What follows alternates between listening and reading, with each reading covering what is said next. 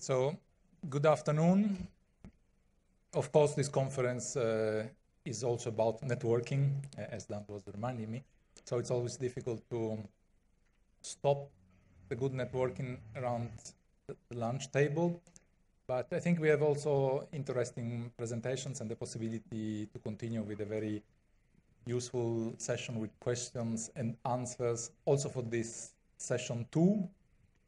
This morning we had uh, very interesting return of experiences and a glimpse of what is happening in the real world. And I think this is exactly where we wanted to start and to set the scene, as our director said, for this conference.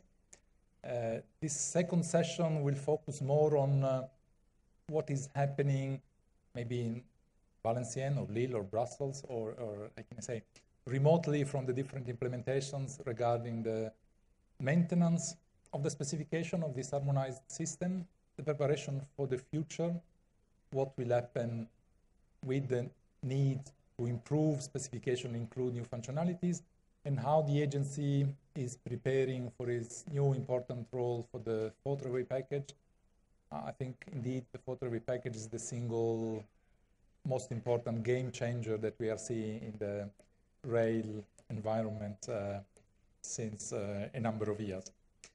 Um, we will have a set of uh, 13 different speakers. We will have one long session that will go for two hours and 45 minutes, again, a challenge.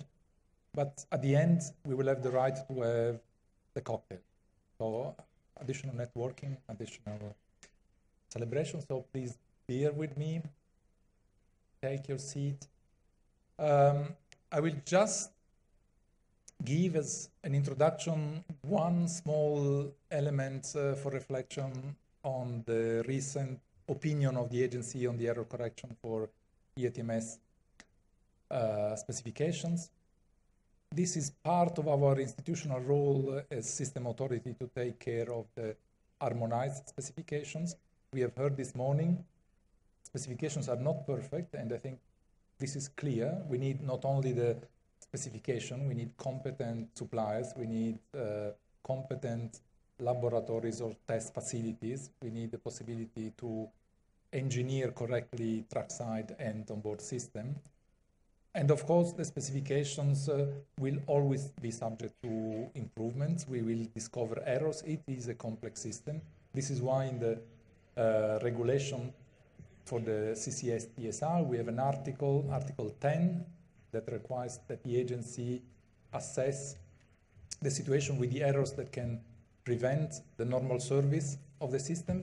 And the agency should transparently publish the solutions and assess the impact of those errors. This is what we have done together with the sector in the different working groups. This has resulted in an opinion that we have published, sent to the Commission and published on, on our website. We have identified uh, 22 errors that can prevent uh, the system running normal service. And for the first time, this technical opinion is not immediately suggesting that we should modify, update the specification. On the contrary, what we are saying is that we want to keep uh, compatibility uh, with the already existing investments, trackside and onboard. What we propose in the opinion, in fact, is that there is this work which is building on the experience that has been presented this morning uh, by the users group together with uh, concerning this uh, baseline compatibility analysis. I think this is the way forward. We should not dream to do a complete update of all the software in all the trains running everywhere in Europe. What we propose in the opinion, in fact, is case by case, check, and this is a work for the infrastructure manager with the help of their suppliers, what is the situation in the different lines. Because in most of the cases, as we have seen in the uh, graph presented by, by INECO this morning, the situation is not so bad. So in most cases, what we have identified are theoretical issues or problems that can indeed, that must be uh, analyzed.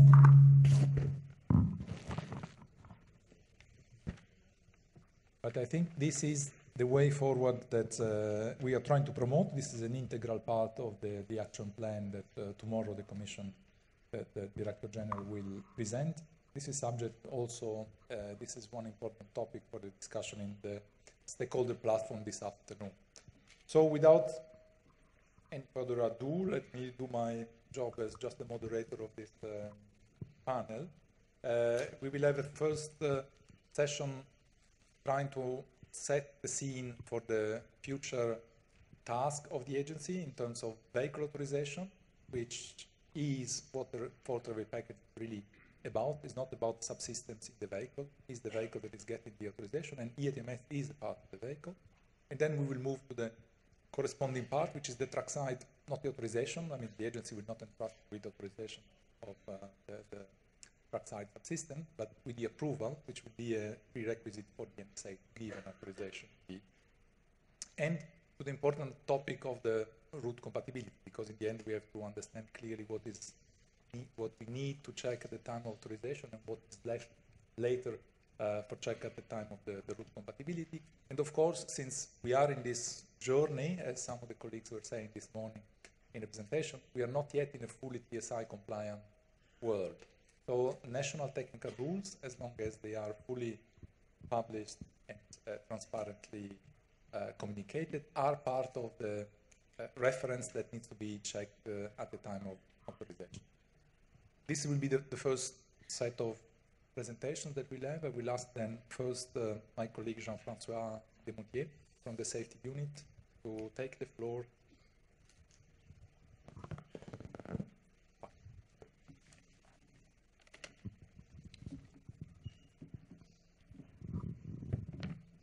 Okay, so good afternoon, everybody.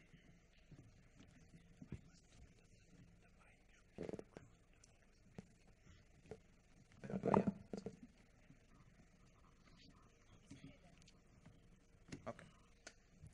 So I will give you uh, very high-level uh, information about vehicle authorization and uh, try to give some tracks for thinking about the impact on the ERTMS onboard equipment and how it will be uh, dealt with during the vehicle authorization under the fourth railway package. So we have essentially three major texts. Okay, we have the regulation 2016-796, uh, in which uh, the Article 2 says that uh, the agency will become the union authority responsible for issuing authorization for placing on the market of railway vehicles and railway vehicle types. That's a, very key formation. So the agency will, will take a major role uh, in the vehicle authorization and vehicle type authorization. We have then the Directive 2016-797, which is a recast of the Interop uh, Directive, and uh, more specifically, we have Article 21 and 24, uh, describing the process uh, at uh, global level for authorizing vehicle and vehicle types. I will point out in these two articles that the applicant for a vehicle authorization has the choice to apply to the agency or the NSA when the area of use is limited to one member state. Okay, so there, when there is an area of use for one member state, the applicant can choose between the agency and the NSA. Then, for all the other cases, it will be uh, the agency. The third major document that we have is the Implementing Act on Vehicle Authorization that is currently uh, discussed uh, at risk and uh, for which we expect a vote uh, this week. So this document goes into much more detail about the different stages that we have in the vehicle authorization. Okay, so we have a granularity in those three documents: uh, high level regulation, then lower level the directive, and then the details in the implementing act. There will be other documents describing uh, that, like the application guide. Okay, I will point out in uh, the different stages uh, some uh, aspects that are important for ERTMS equipment. It is the pre-engagement. So we will have the, we offer an optional, uh, we'll, we will offer the possibility to pre-engage. So discuss before the vehicle authorization about the content of uh, the authorization. Okay. There will be the one-stop shop. So there will be a central point to apply for vehicle authorization. So all application, whatever uh, domestic, meaning one member state, or multinational uh, ones, they will go through one-stop shop, so one single entry point where we collect the information. Uh, about the processing, so we have distinguished a completeness check, the first phase of one month to examine if the file is complete, and then four months for the assessment. If the agency is the authorizing entity, the, uh, the agency will continue to work with the NSAs for the national parts. So there will be a coordination needed at that level.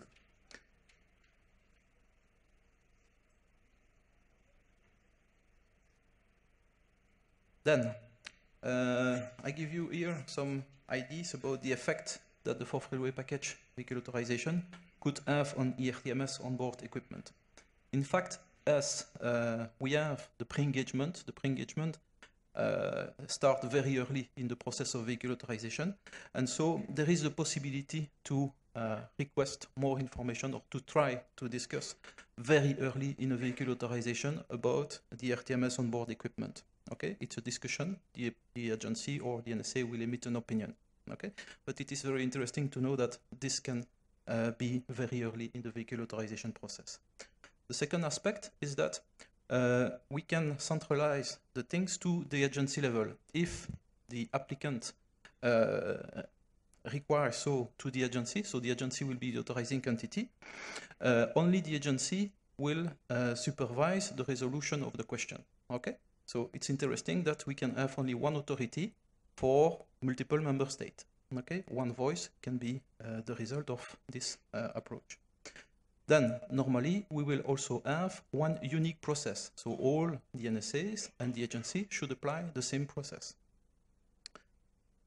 Then uh, finally, as we have all the information in the OSS, uh, we can retrieve in the OSS all the decisions about vehicle authorization, meaning we can retrieve all the restrictions and so on that are linked to ERTMS onboard equipment. So there, we can build a kind of database that could be reused to examine where to improve the ERTMS uh, specifications. So that is a possibility. It's a tool that with time we could uh, start to use to improve uh, the specification of ERTMS. Voilà. Uh, for the next presentation and uh, I think we will collect questions uh, after.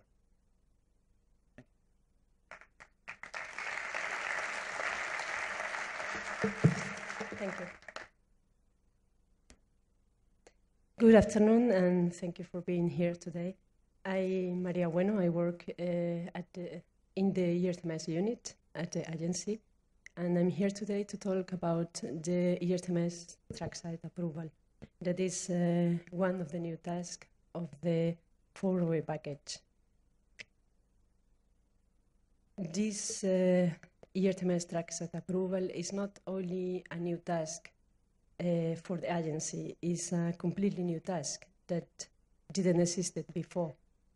So uh, for the authorization of the fixed installations remains uh, responsibility of the NSAs, but uh, the application file of an authorization should include an ERTMS trackside approval given by the agency. So as you see now, we have a new, totally new task that has to be done before authorization. The legal base of uh, this trackside approval is uh, the new interpretive directive that was published in May 2016, uh, May next year, and the uh, agency regulation. These uh, legal basis, these articles doesn't really describe the process or does not precisely detail the application file. And for that, the agency developed a document called Practical Arrangements where the process was uh, better described and was the base for an EC recommendation draft from the European Commission. So in this draft, uh, you can better uh, find uh, the documentation that should be uh, used for decision on approval. Uh, this draft recommendation, even if the agency has no legal obligation to, to detail the process that was presented in a workshop last year in November, and that was discussed. We, uh, the agency received many, many comments, and there was a second version considering those comments presented in February. And after February, uh, the agency started with learning cases that uh, we think is, uh, is fundamental to, to test and to improve uh, the new process. The, the main objective is to approve, uh, I mean, to adopt the, in the next RISC in January uh, the EC recommendation.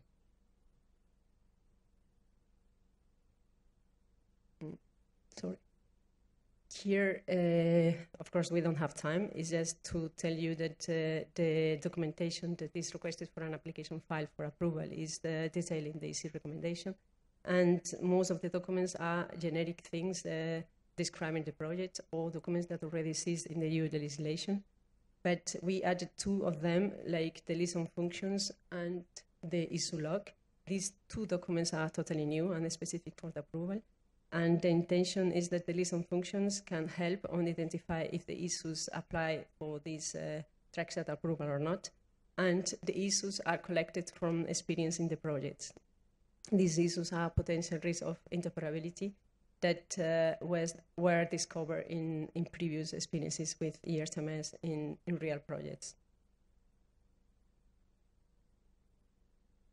Uh, this slide, uh, well, it's very complex to explain it here today. That was presented in the workshop uh, in November, uh, no, in February this year.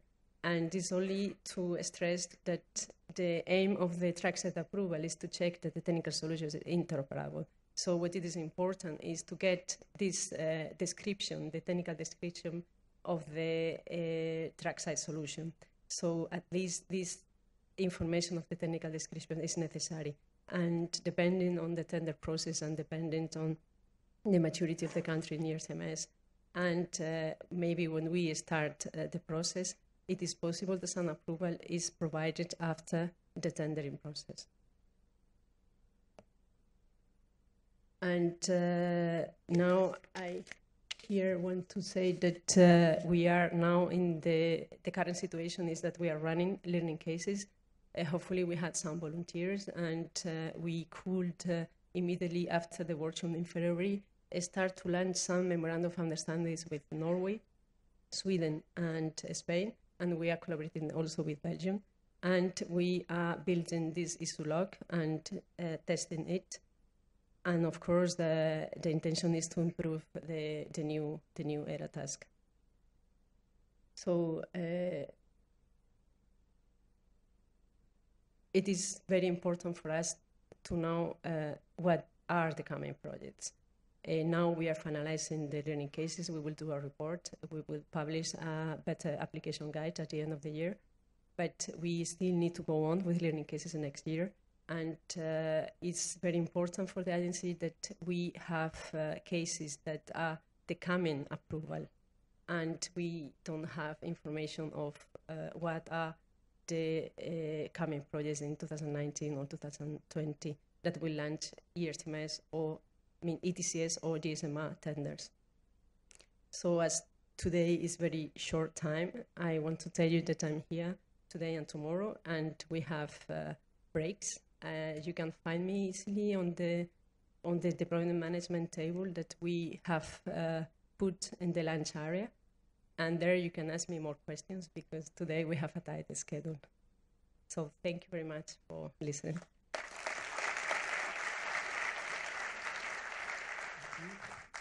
Thank you, Maria. And um, now that uh, the authorization for the vehicle and the authorization for the track side is done. What needs to be done? What, what is missing? Maybe one of the nuances of this new uh, directive uh, in the photo package is that now the vehicles are authorized for placing on the market. It's no longer an authorization to place into service. So there is one important step that Pedro Mestre, our colleague from the agency, will illustrate now. Thank you.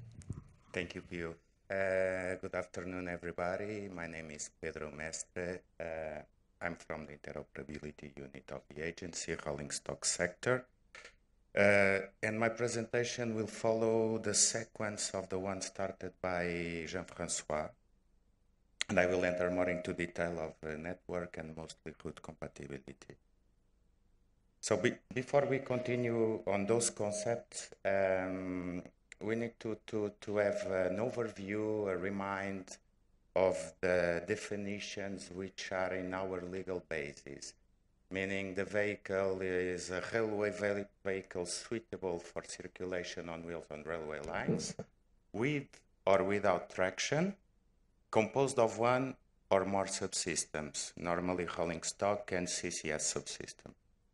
Um, route uh, means the partic- particular section or sections of line uh, and the geographical way to be taken for, from a starting point to a point of destination. So networks are composed of subsystems, uh, normally fixed um, installation subsystems like InfNA and CCS trackside, uh, and it is technically described by mean of parameters recorded in the register of infrastructure. Area of use of a vehicle can cover more than one member state or one or more networks is specified by the applicant in its application and it is mentioned in the authorization delivered. Should be mentioned um, making reference to the member states and the values of the parameters related to the technical compatibility between the vehicle and the area of use.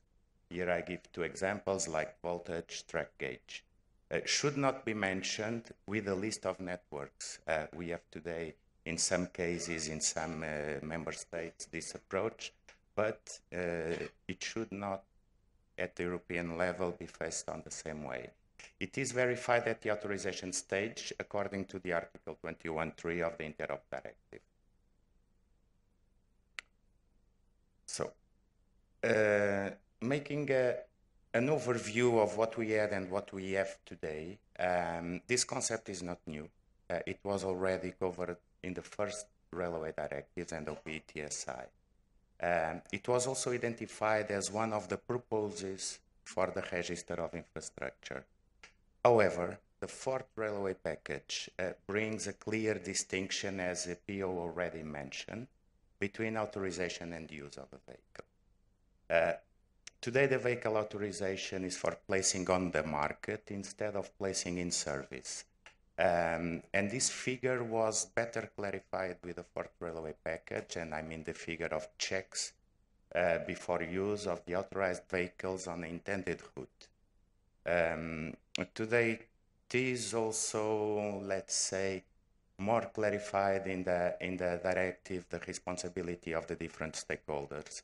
The authorization is granted, as explained already, by Jean-Francois by NSA or agency to the vehicles at the request of applicants, but the railway undertakings are responsible to perform the compatibility check between vehicles, those vehicles already authorized, um, and also the trains, obviously, and the routes in which they intend to use the vehicles.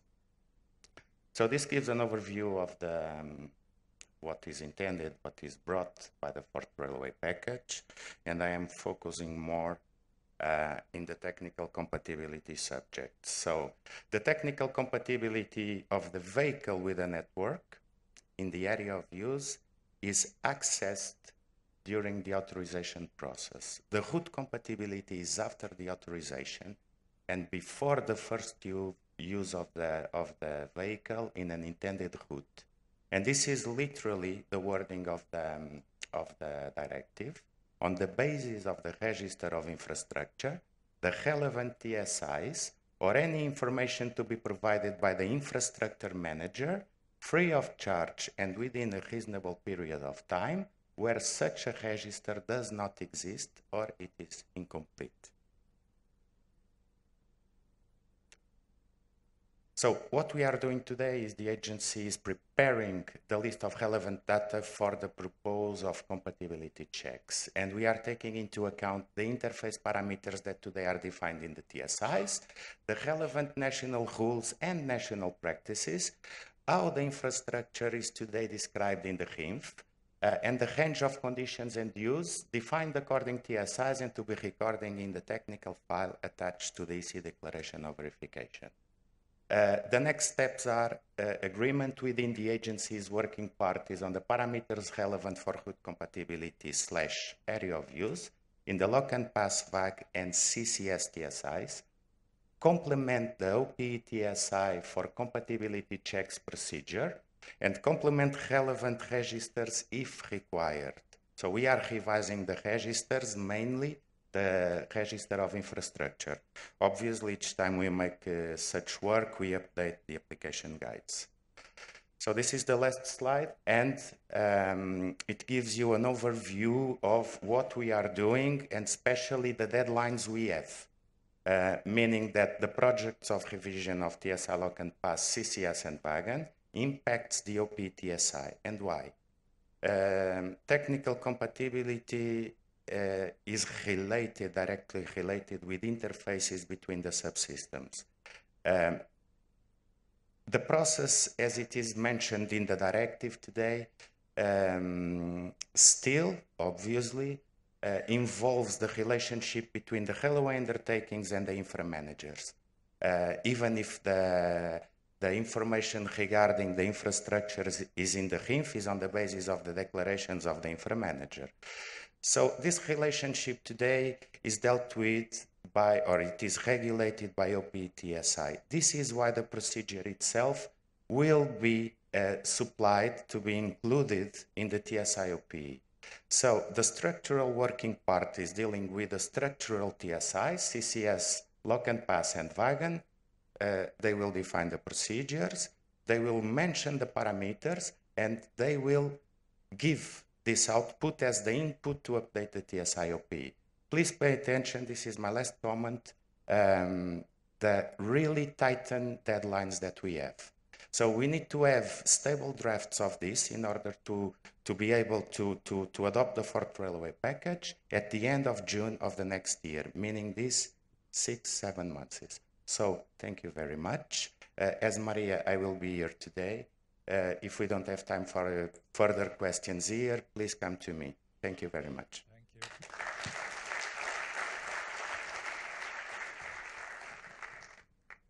Our next speaker, Florinel Belinte, from the agency, a colleague that will discuss and present the situation and the progress with the national technical rules. Hello, good afternoon. Fine. Thank you. So, uh, regarding the nation rules, as Pio was saying earlier, we have, we still have need of nation rules. Of course, we need to have them uh, available and uh, reliable and uh, not more than needed. So the basic needs, I quoted the, the, definition from the directive, and I will focus on the basic needs for nation rules, which uh, are the applicants needs to have access to those rules, of course. The member state has to have a place to publish and notify the applicable nation rules. According to the new framework, we have to go in deep and examine the nation, uh, the notified nation rules, and the agency, the commission has to validate those what is the current situation?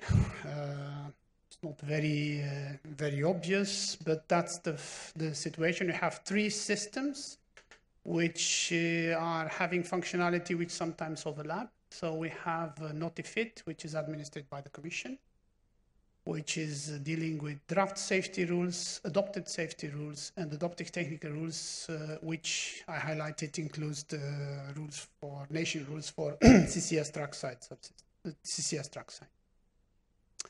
In respect for rules for vehicle authorization, we have the reference document database, which is administered by the agency, where we have the nation technical rules, which includes the rules for CCS on board, and possible acceptable national means of compliance if the member states decide to provide those things, which are the so-called not mandatory national rules. And we have also the classification of rules um, which can serve for um, eliminating for cross-acceptance uh, activities. In terms of draft technical rules, uh, normally TRIS database has to be used, even though it's uh, not always happening this way. In the, um, in the presentation, we have some more details related to the three databases, which I will not stop now into those. So I will try to see, to show you now how we will change from the current situation. So we will move from one database to a single database. Obviously, the name is self, self-defining, it's single rules database. It will provide the access to the nation rules on the public side, and of course, it will be a platform for the nation rules management, including publication, notification, and examination from the point of view of the uh, uh, agency and the commission. This will eliminate the necessity of NOTIF-IT and RDD, so those systems most probably will fade away. Um, it will not take out of use TRIS, but it will eliminate the need of using TRIS for draft technical rules.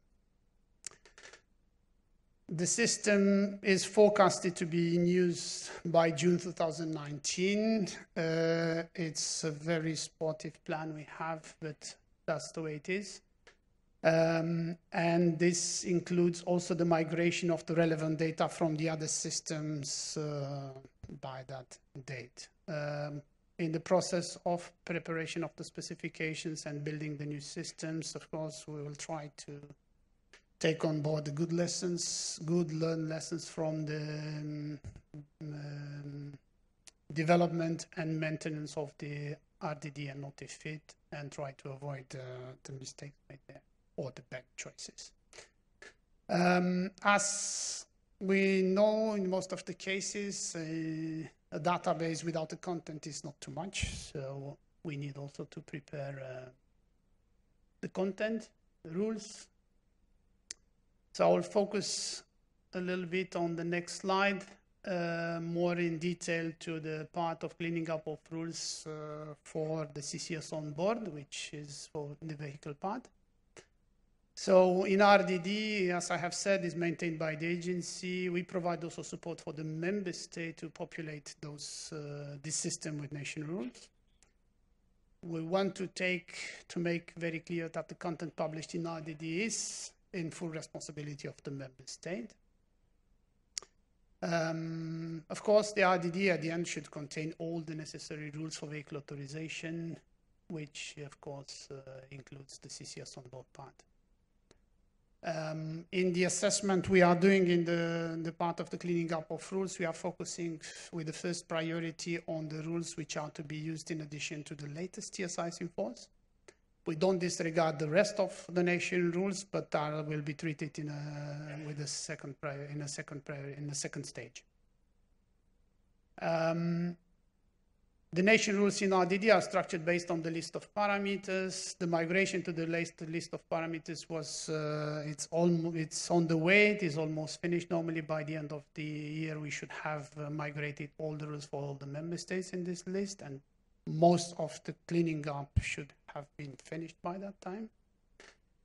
Um, the rules for CCS on board are to be found associated with parameters in chapter 12 and um, one element which was uh, discussed with our colleagues in the TMS unit is that there is a need apparently to have a clear attach, uh, a clear uh, to, to specify clearly the um, for which baseline uh, rule for CCS on board it is um, it is needed. So for the moment, it is you have to this information should be provided in the text of the rule we will have already have an initiative to try to implement uh, a feature in RDD that a special field will be created for this.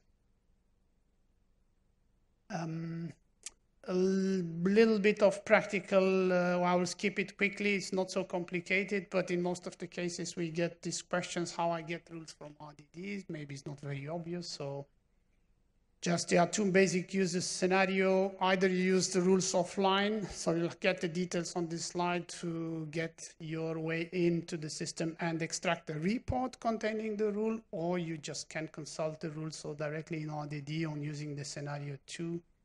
In case you need any questions, there is a feedback uh, uh, menu uh, item in the system that you can always ask further questions.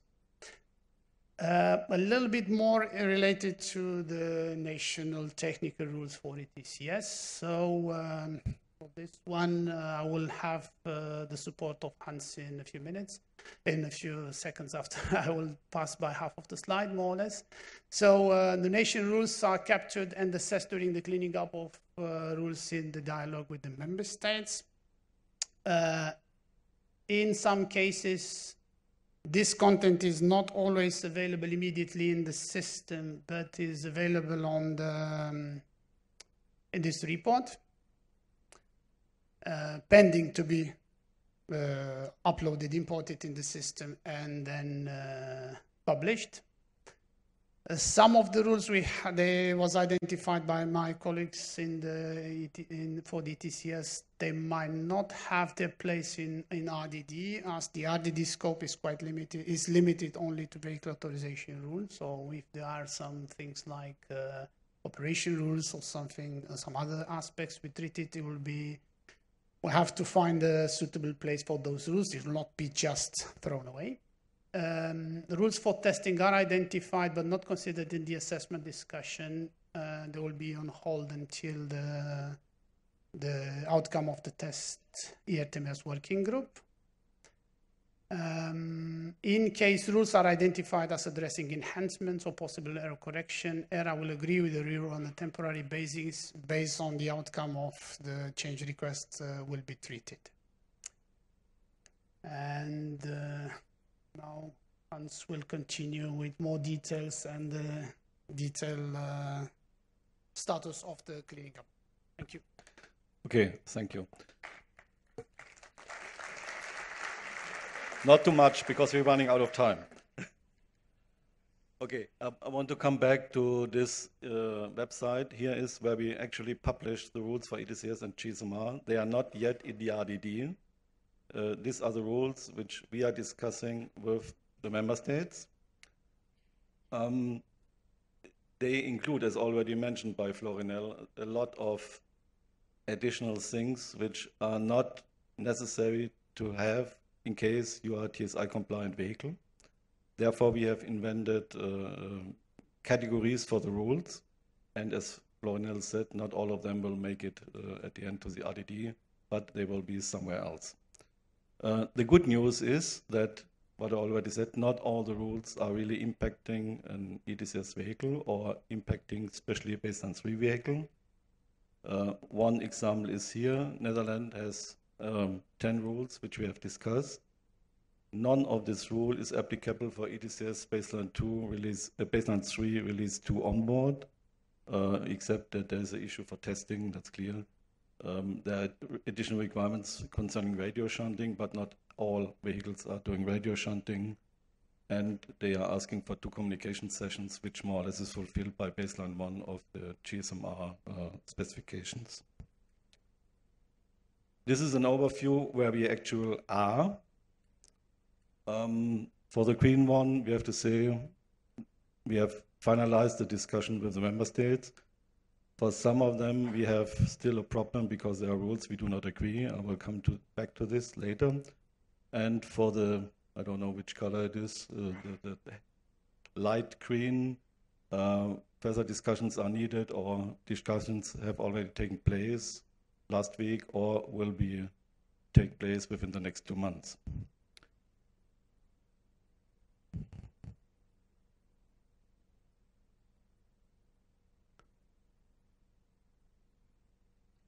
Okay, now we have a blue sky. I don't know why. Normally there should be uh, a map. Sorry? Yes, this is this is the target, the clean rules. okay, can we come back to the map? So the, there is a map which gives you a, a certain overview um, on, on the member states which, uh, which we have finished. Uh, it seems it doesn't work, no problem. Um, we have some member states, which I already mentioned, where there are rules we do not agree. I give you one example. In Austria, they require cold movement detector from 2021 on uh, for all onboards when they are first authorized. This is clearly, as it is not in the TSI, an exporter constraint, and we as agency cannot agree on this.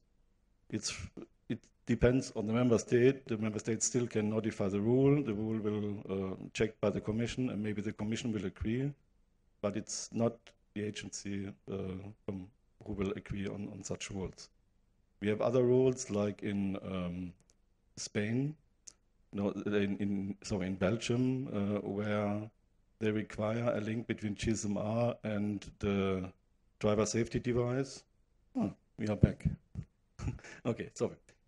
Okay, this this is again, uh, let me say, a more uh, yes general overview. The the green part is agreed. The other green part we are still in discussion, and uh, we have some member states, as already mentioned. Um, no, I have not. Belgium, they require that the driver safety device alarm will be should be transmitted via GSM-R. It's an option, but in case it's mandatory, it's an exporter constraint. Uh, another example is, I noted this already, Austria with the cold movement detector for 2021, or Germany, uh, who require baseline one GSM-R also for reauthorization of already authorized vehicles, um, which is, I would say, again, an exporter constraint. We have several member states, mainly the early implementer, who have additional rules based on their past experience, uh, which may lead to the fact that when we have finished the discussion, we may not agree on it. And that's it concerning the rules. Uh, we will update our document on our website next week. After the conference, I have some time to work on it because we have to feed in the discussions we had in the last weeks. Thank you.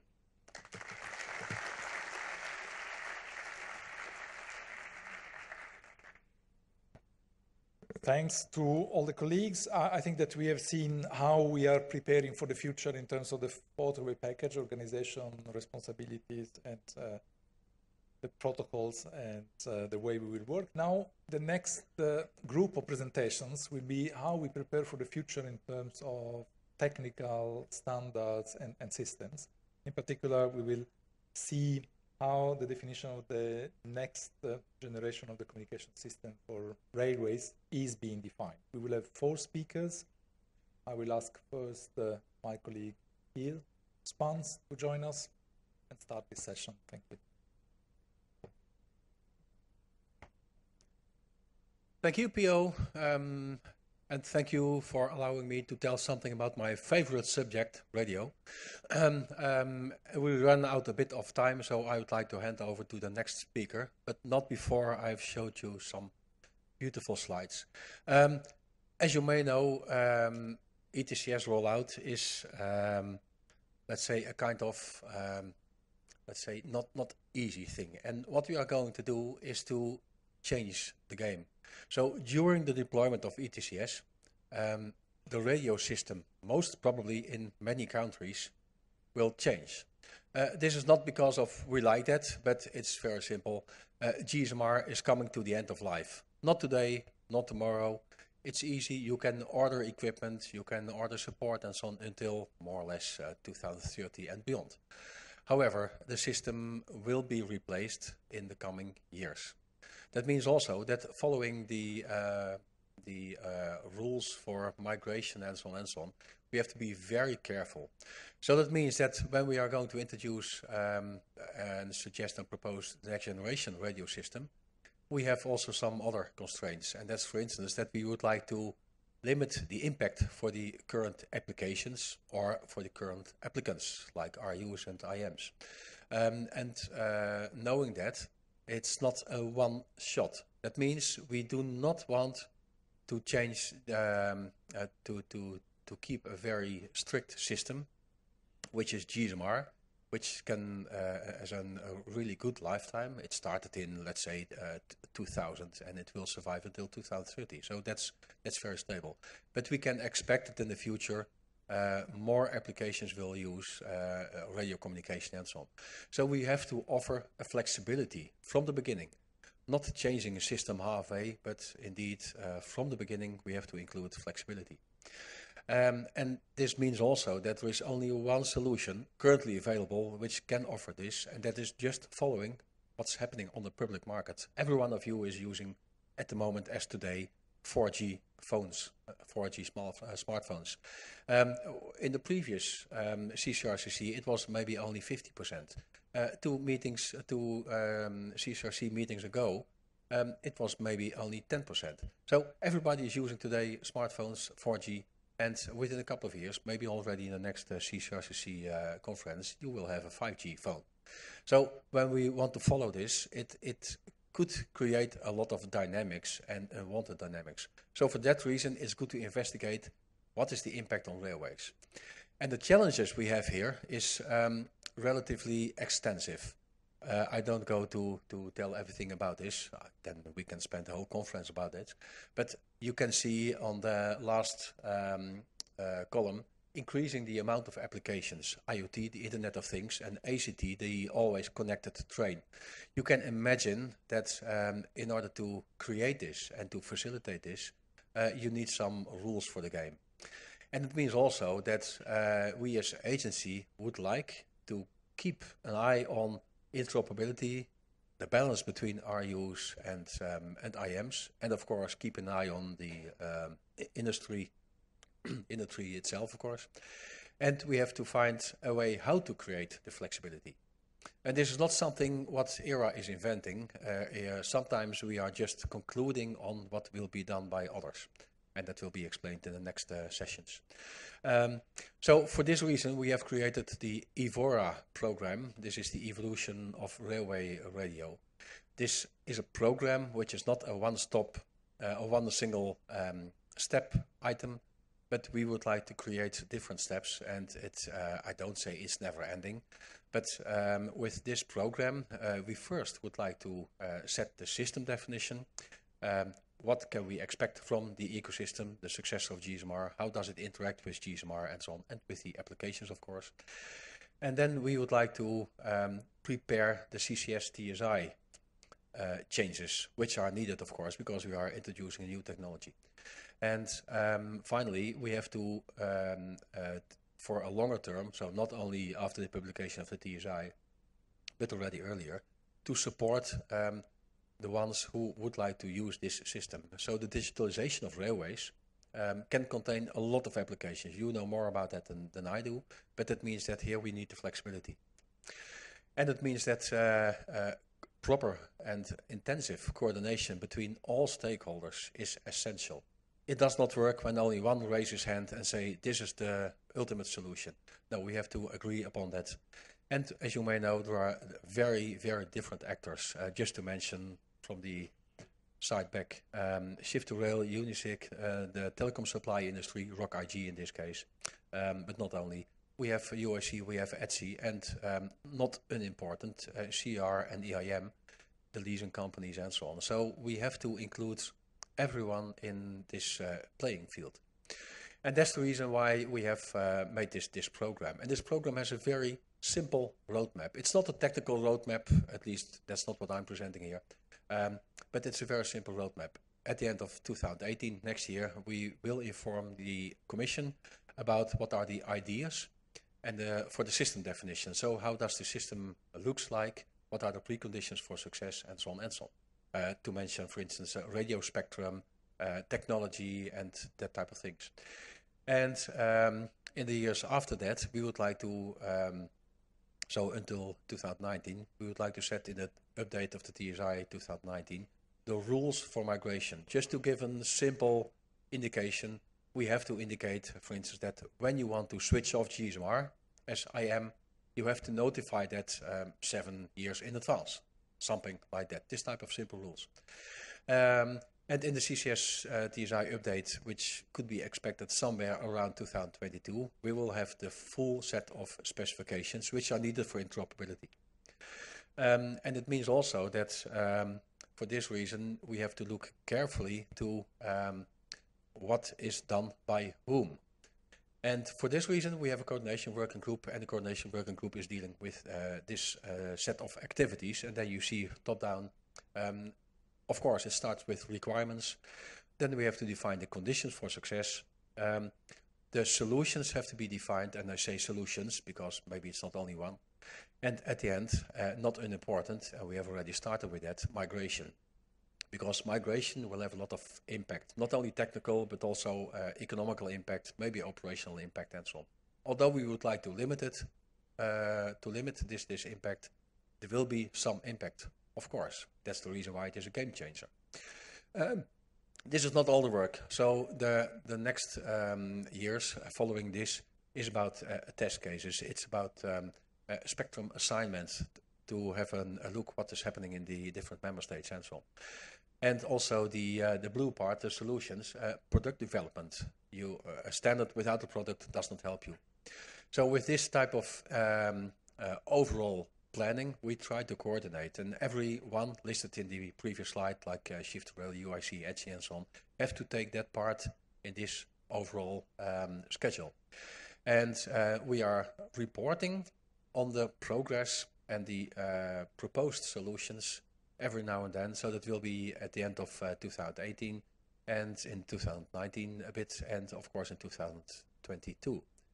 Um, this is a very brief picture of um, what we are doing in a uh, well settled environment. We have a lot of meetings, we have a lot of groups working. Um, you may uh, not be aware, but railway communica radio communication is developed more or less by 3GPP. That's a worldwide project with, uh, they are producing over 40,000 documents yearly and so on. That means that we are cooperating with them, not only the agency, uh, UIC, ETSI, the supply industry and so on. So this means that this is a huge task, but it is about standardization. And the lessons learned from the past is that with appropriate standards, you can create a very stable system. In the next uh, we will, uh, we will tell slightly more about this. And I would like to hand over to uh, the next one, Michael. Thank you very much.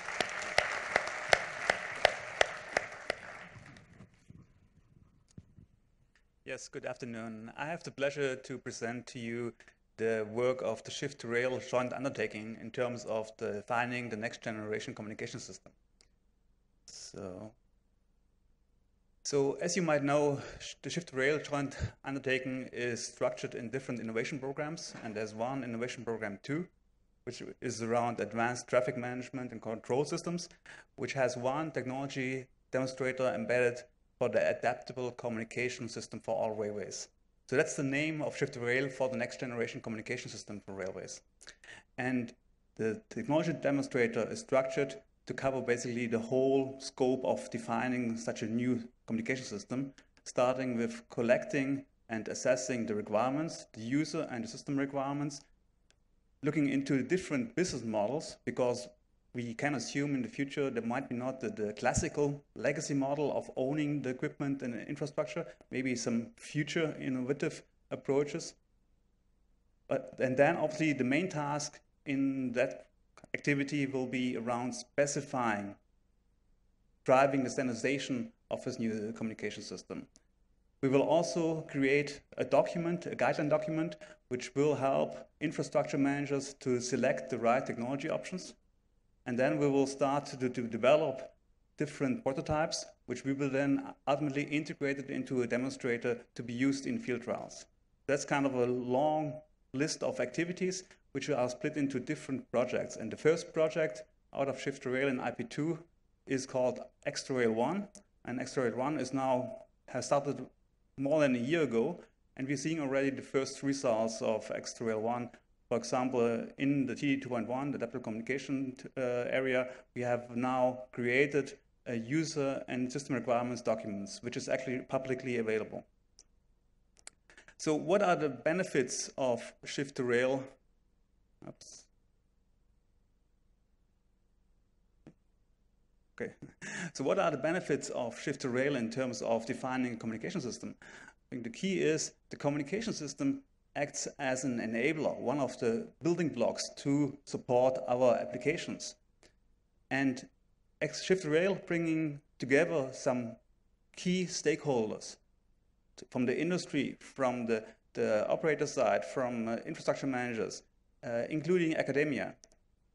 So Shift Rail, in Shift Rail, we have a strong collaboration within the projects, between the different activities, between the different tasks, but also between innovation programs. Between IP2 and IP1, for example. For example, we have the Roll to Rail, one of the Lighthouse projects, and now the connector projects in IP1, which also look into onboard communication systems. So as you see, there's already kind of an overlap between what is done in IP2 and what is uh, going on in IP1.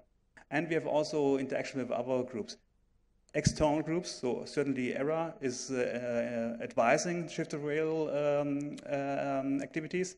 Uh, we also have uh, looked strongly into the work uh, created by the UIC, the FRMCS project, with the user requirement specification, which is used as, I would say, the main source for the requirements documents created by uh, Work Package 3 and X2Rail-1.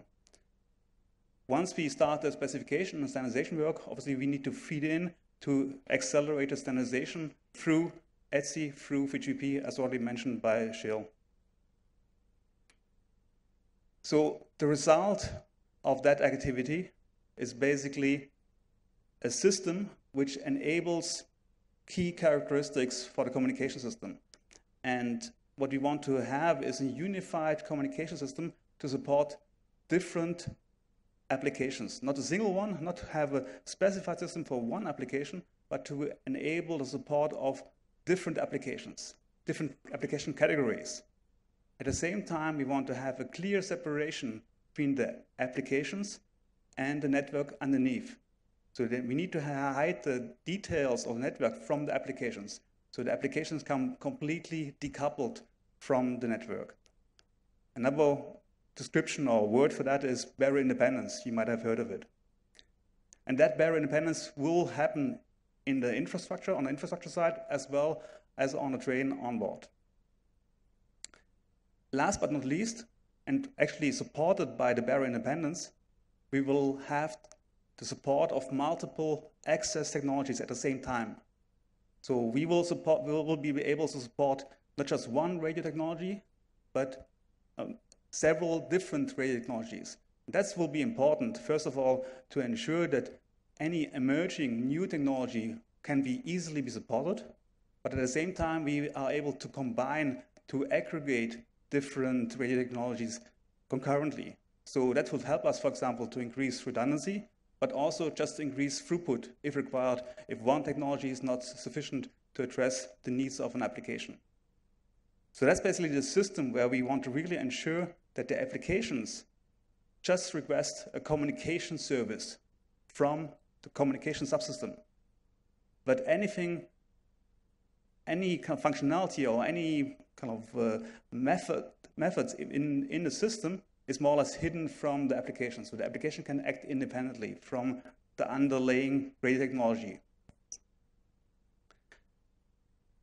So when we talk about different applications we want to support, obviously we have different categories. We will have mission critical applications, but also non-mission critical applications. So different applications have different needs, and those needs to be su uh, supported by one system. At the same time, I mentioned it before with the business models, we need to support different operational models. So what we have having today mainly is a dedicated network. But in the future, we will have a network, an access network on a shared basis to be shared with similar user groups or even shared with uh, uh, uh, other railway uh, infrastructure managers. Up to a model where we want to support a network as a service uh, business model. And similar, I think the network as a service would be kind of a satellite communication, which would also act as one of the uh, potential physical bearers you want to support. Oops. So to conclude, the shift to rail work package 3, so the work done for the TD2.1 adaptable communications, aims for overcoming the limitations, constraints of the, the existing communication system in ERTMS. The bearer independence will be very important and will be enable the, the, the, support of multiple applications and, and, the independence of those applications from the network, as well as the support of different access networks from one communication system. We need to ensure that we are backward compatible, so we have to have a, a migration path and transition path from the existing GSM-R systems towards the future system. As well as support different operating models. So as I said, the network as a service uh, approach would be one, and actually the most challenging one, uh, to enable different communication services in different environments. And ultimately, I think that's also very much linked to the other activities in the Shift to Rail program. I think the, some of them you will see in later presentations, is that we want to support new innovation, new services for railways. So thanks you.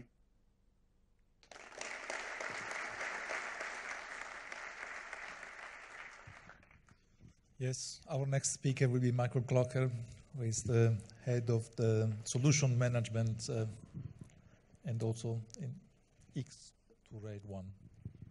Yeah, thank you, Pio. So my presentation today is uh, uh, on behalf of the uh, industry group. So I'm working in, in, in Nokia, and we are uh, since the beginning part of the of the industry group, Railway Operational, uh, Operational Industry Group. Uh, and we, I will present shortly our view on, on the way towards the next generation, what we see as an important guideline to follow, and especially what we can do as a, a group of vendors uh, uh in the in the area of GSM-R since 2000 already, what we can do to support a smooth migration towards a next generation system, what we are doing already in some part of our networks, in our technology, in our products, and uh, where we are supporting, for example, in the uh, specification work, where we can bring a lot of uh, experience into the work, as you've seen already uh, by the presentation of Ulrich Geier this morning. Uh, why is it now?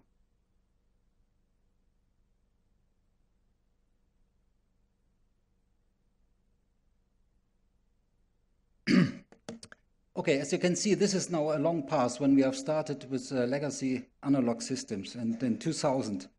Uh, and you can expect as a network uh, a supplier in this business uh, this statement that this was a wise decision to select GSM-R, and not only because of the success of GSM-R we have now since 2000 in Europe, but not only in Europe, but also outside Europe. Uh, most of the important thing is that we are now be part of a big global telecommunication system, the most successful system, as Giel mentioned, defined by the 3GPP.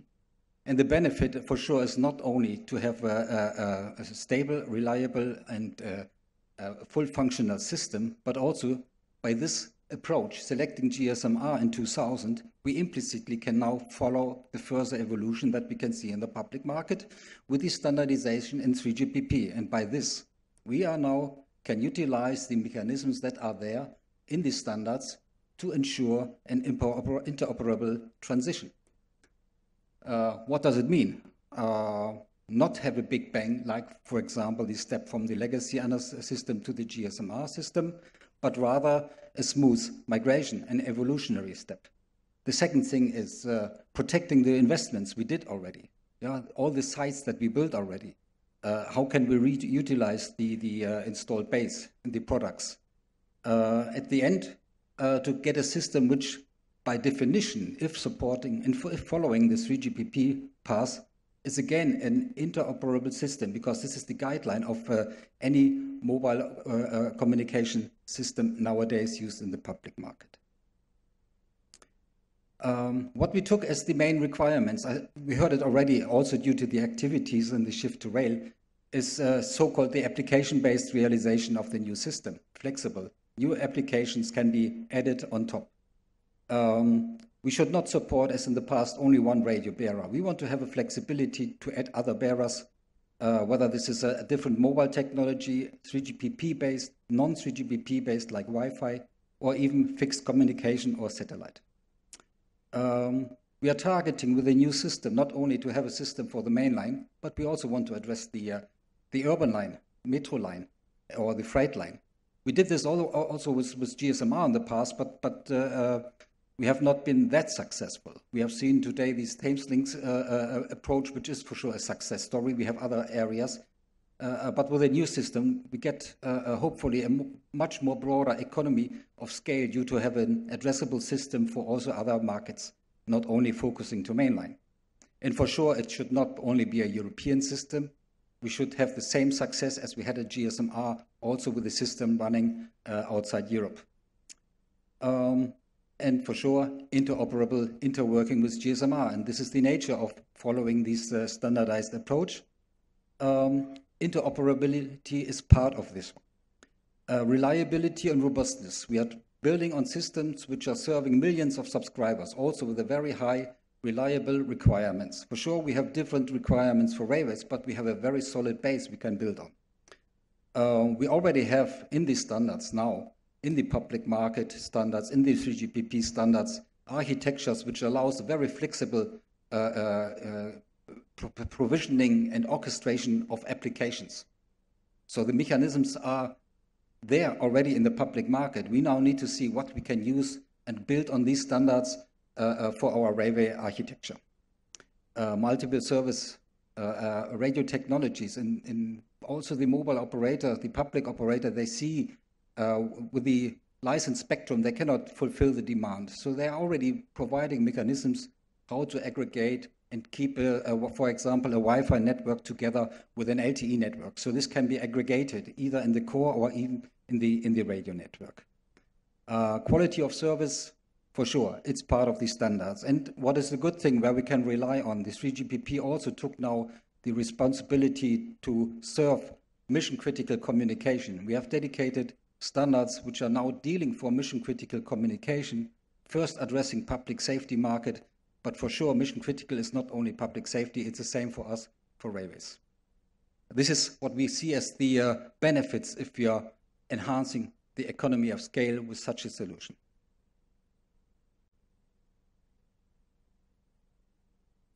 Okay, this is uh, some of the discussions that are currently ongoing within TCRT uh, flexible architecture based on the new uh, system. So this is one view how to, to build this. We discussed this in TCRT with the vendors uh, of the industry group, with other vendors, uh, where you can see that we have these flexibility in application. We have an application layer which is not only dealing with special railway application, but also we are now extracting what we have built in before into, into the GSM-R network, in the core, in the radio. We want to abstract this now and we are putting voice services, group communication services, dispatcher services also on, on application layer so that we keep the infrastructure independent, so the core and the radio network infrastructure. And by this one, also 3GPP allows to connect different radio technologies, non-radio technologies the first time, uh, and uh, for sure accessing and serving various of, of mobile devices. So this is uh, work ongoing. This is a view we have. Uh, for sure, we have variances we can discuss, and we are supporting here in all of the relevant standardization bodies, whether this is ETSI, whether this is 3GPP, and for sure working together with ERA and, and UIC and other stakeholders.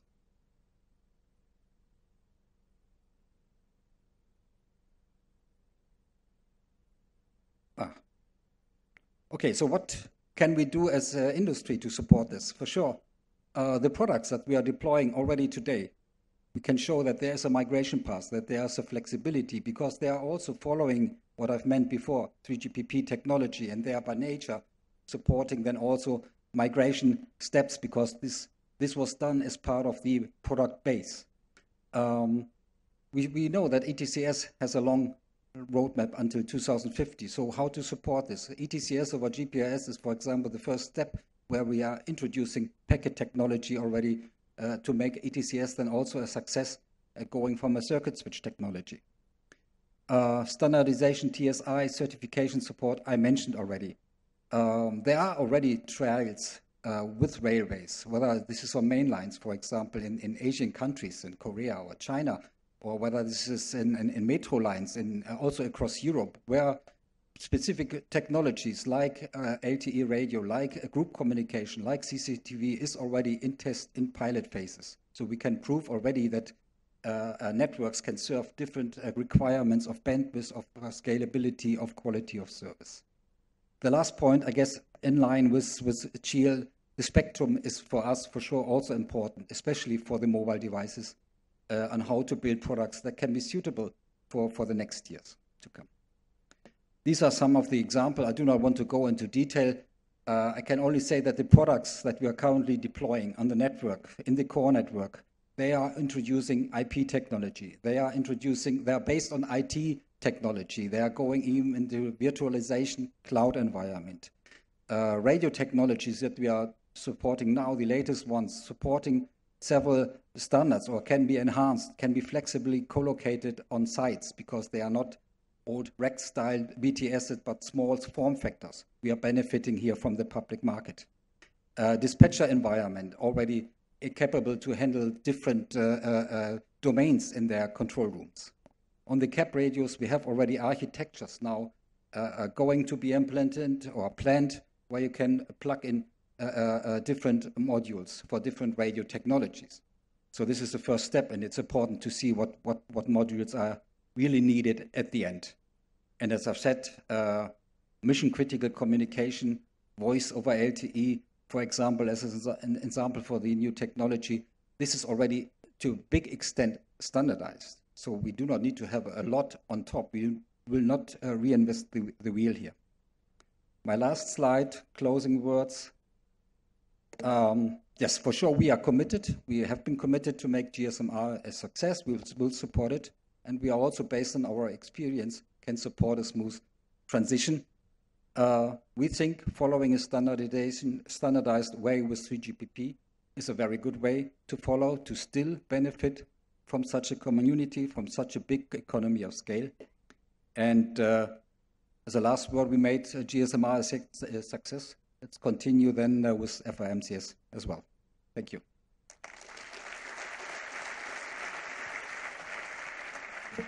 Thank you. And thanks for the, the words. Let's continue with FRMCS because indeed we have here the project manager from the UIC, also from Network Rail for this project, Dan Mandoc. Hello, everyone. So I was asked to speak today strictly about the project, not about the details, but many things have been said, and I think it's important to um, to look on them. And um, so FRMCS is the continuation of, of, of, GSM-R. It stands for Future Railway Mobile Communication System, and it has been designed as the successor of GSM-R. Uh, we work on this system, and as you probably know, it's one of the game changers. Now, I tried to understand when we discussed in, in, in the Brussels conference, it is a game changer for railways. It is a continuation for ERTMS, and that's why I understand the reticence to understand what does it mean as a game changer. But I will not stay a lot on it because I just want to explain what we want to deliver as UIC. UIC has decided to tackle this issue by launching a project, by having a project working on it. Um, and this project has, has as a scope to actually provide the overall technical preconditions for FRMCS. So to, to achieve that, we work first of all on the three main things to deliver to be able to build all the platform, which is user requirements, which is a system architecture, and the frequencies that we need, because the radio system needs frequencies, of course. Then we intend to provide, together with ERA and with the stakeholders, a first draft of the functional requirement specification, which is very important, because then we can build the system afterwards. Uh, we have to investigate a real high number of issues and opportunities. And they were named before, and I really love the, the slides from Shift2Rail showing all those things together. It is about the, the, the network model, it's about sharing infrastructure, sharing spectrum. We're going in a different world. It's going to be a different thing. And not, not to forget about the application layer, and I'll speak about this in the next slide. And also it's about the migration strategy. We have to support ERA to be able to deliver the migration strategy. We have delivered the frequency needs. We are working on the network model, which is what I call the part of is it your network, part of the network, virtual network. And, and we're keen to prove and to make sure that this system is interoperable with GSM-R and give the implementer flexibility. Just a short insight on how we're organized. Um, we have, of course, a steering committee, and we, we answer to ERIG, which is the members of UIC taking care about governance of the UIC GSM-R FRMCS projects currently, and to UIC headquarters, of course. But we have also three groups working on functionalities, architecture, and spectrum. On functionalities, we have delivered user requirements. We are deriving use cases from them, and I'll get to this part and explain it. And um, we, this group is going to prepare the functional requirement specification first draft. As a very, very small bracket, it won't be the same functional requirement specification because it's about a different system. Um, architecture is about the technology survey, onboard trackside, onboard and trackside architecture model, and security. Let's not forget security. We are going in a different world. And frequency, what was the biggest problem, and now we have some hopes, is about obtaining the frequencies to make this system successful. Now, I wanted to put here some challenges, and I might stay here one and a half minutes-ish, shorter if I can. So the most important thing on the challenges is that ETCS bearer independence. And I'd like to state the proposal policy. It's not about I, I want to use any technology I want. No, it's about when I change the radio layer, I'm not affecting trackside and onboard ETCS. When I go from GSM-R to FRMCS, I don't want to reauthorize my fleet. I don't want to put the talk at standstill because I have to change the radio system, which is 1% of this business case to build this system. So ETCS bearer independence following this policy is a necessity, and this has to be done as soon as possible. Of course, the system is following the current operational rules. There will be a development in the future, but today we build the system based on today operational rules and has to be future-proof, a good quality of service, secure, cyber security, physical security, has to be cost effective. And the game that was discussed before, which helped me to get here, is about the ratio between equipment and application. Equipment and application. Everything the application, future-proof system. Everything the equipment, we meet again in two years, change the system. We have to go there one way or another one. What are we doing as UIC? So we are maintaining the user requirement specifications. We are delivering use cases for 3GPP. 3GPP is a global organism delivering the 3, 4, and 5G standards and building this system. We keep saying 3GPP and TCRT, and we're getting you confused. I think we are 5% telecom guys in this room, so we have to explain this a bit better. We are doing this work with 3GPP to have a standardized off-the-shelf system together with ETSI TCRT. The chairman is here, Robert is in the room. Technical Committee for Railway Telecom. We have the luxury to have a group working for railways in ETSI, and that's a very big thing for us.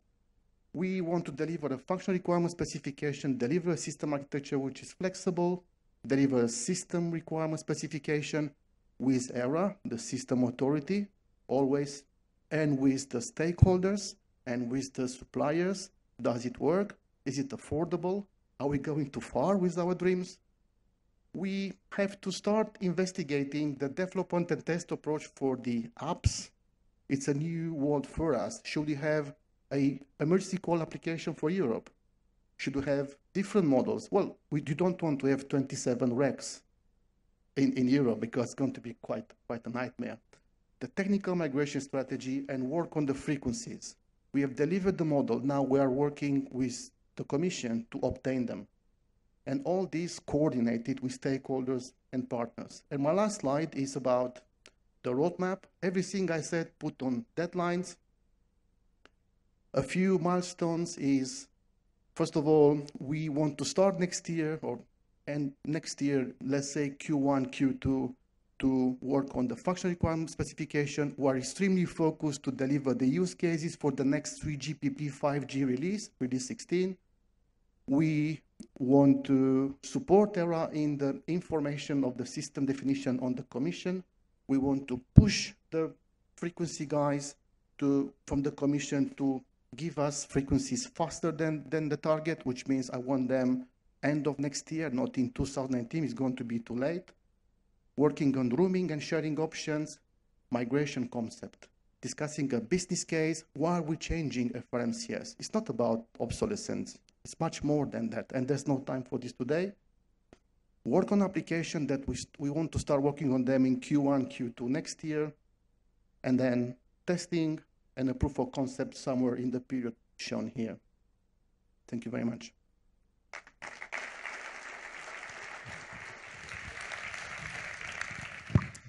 Thank you, Dan. Thanks a lot. I think that uh, we have seen uh, how the plan for ensuring GSM-R future and present is taking into account all the different applications that we are seeing in addition to ETCS. And in fact, the next uh, presentations uh, will be about level three and about ATO, possible clients or apps for the communication system. So I will ask Simon Chadwick and Wouter Malfait from Shift2Rail from the agency to take the floor, please, for the next session.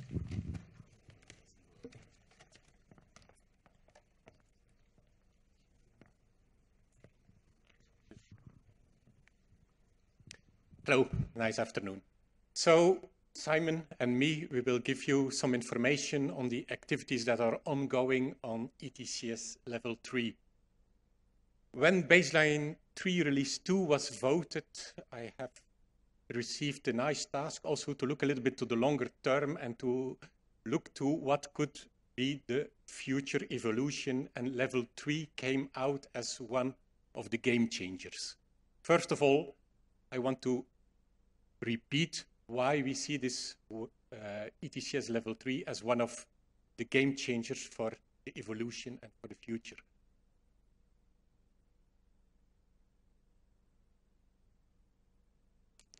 This is the business and migration objectives.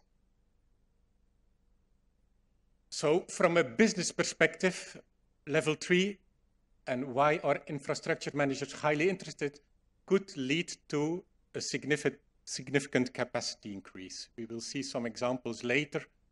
Uh, and this capacity increase is mainly linked that we can have shorter virtual blocks or a moving block. So this capacity increase is of an important business value, and it was one of the elements that drove also other game changers, like we will see later on, ATO, that infrastructure managers can have congested infrastructure and are looking for innovations to increase further the capacity. A second business objective is what was mentioned also for other game changers. Game changers. We have to reduce the costs of the complete railway system.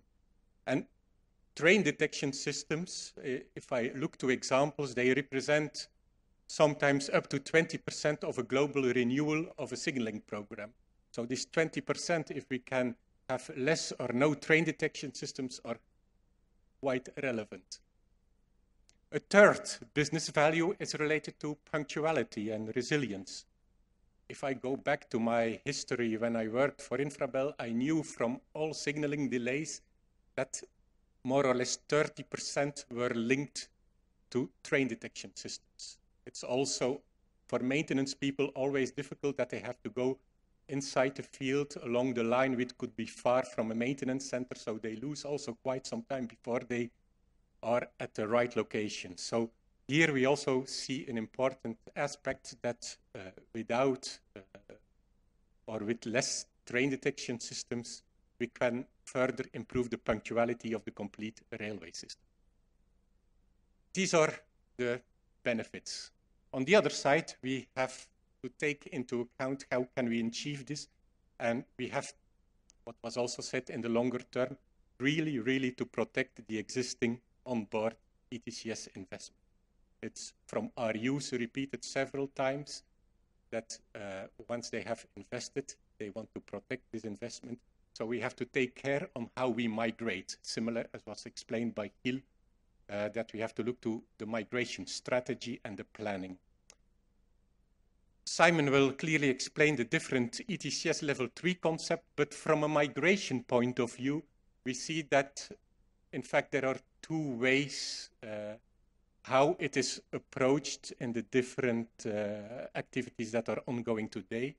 You could see, first of all, that the onboard train integrity management system could be something optional, or it could be something mandatory if you make no use anymore of any train detection systems.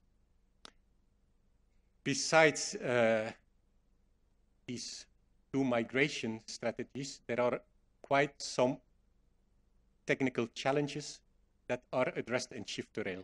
Therefore, I hand over to Simon to explain all the work being done.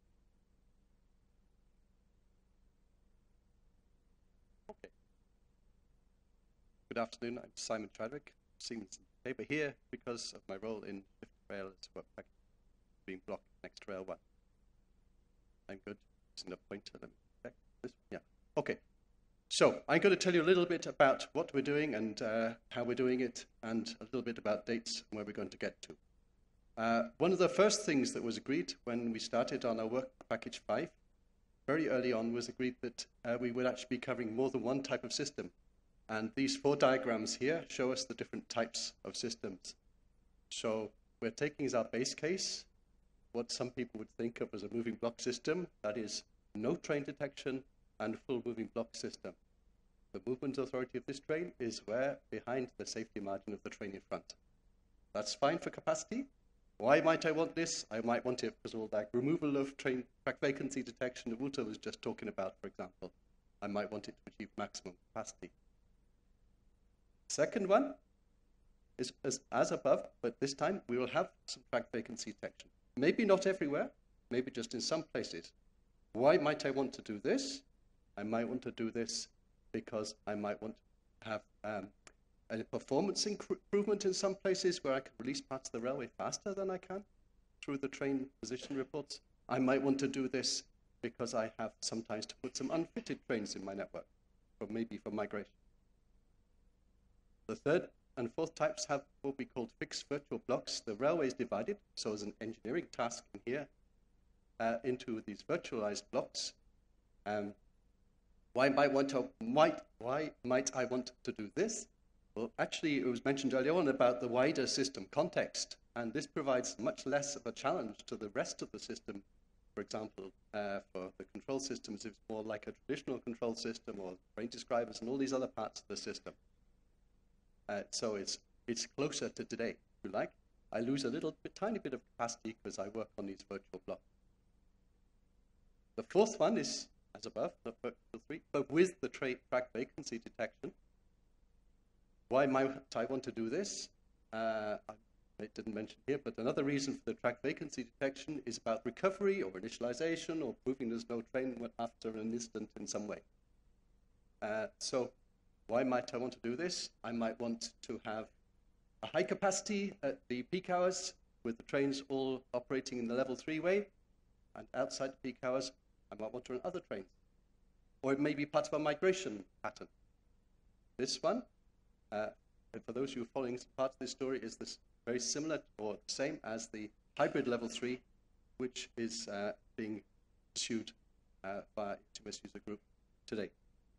Okay. The next. So that was the first, was the scoping type of thing. Hope I missed one.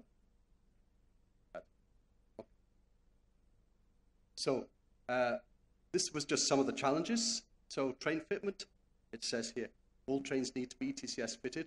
I just gave you some examples, maybe not, depending on which type of system you're following.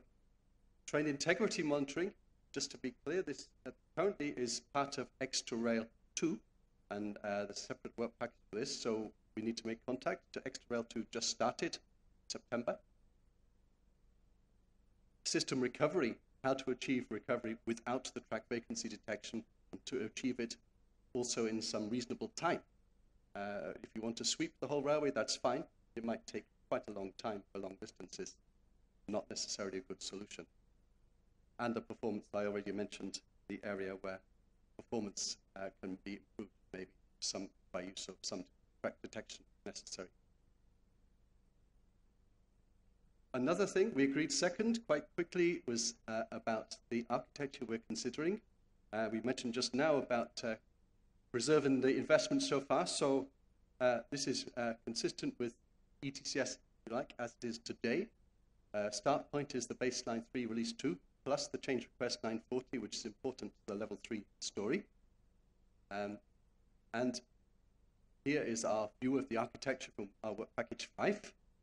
And really, we care just about onboard and trackside and the environment they sit in.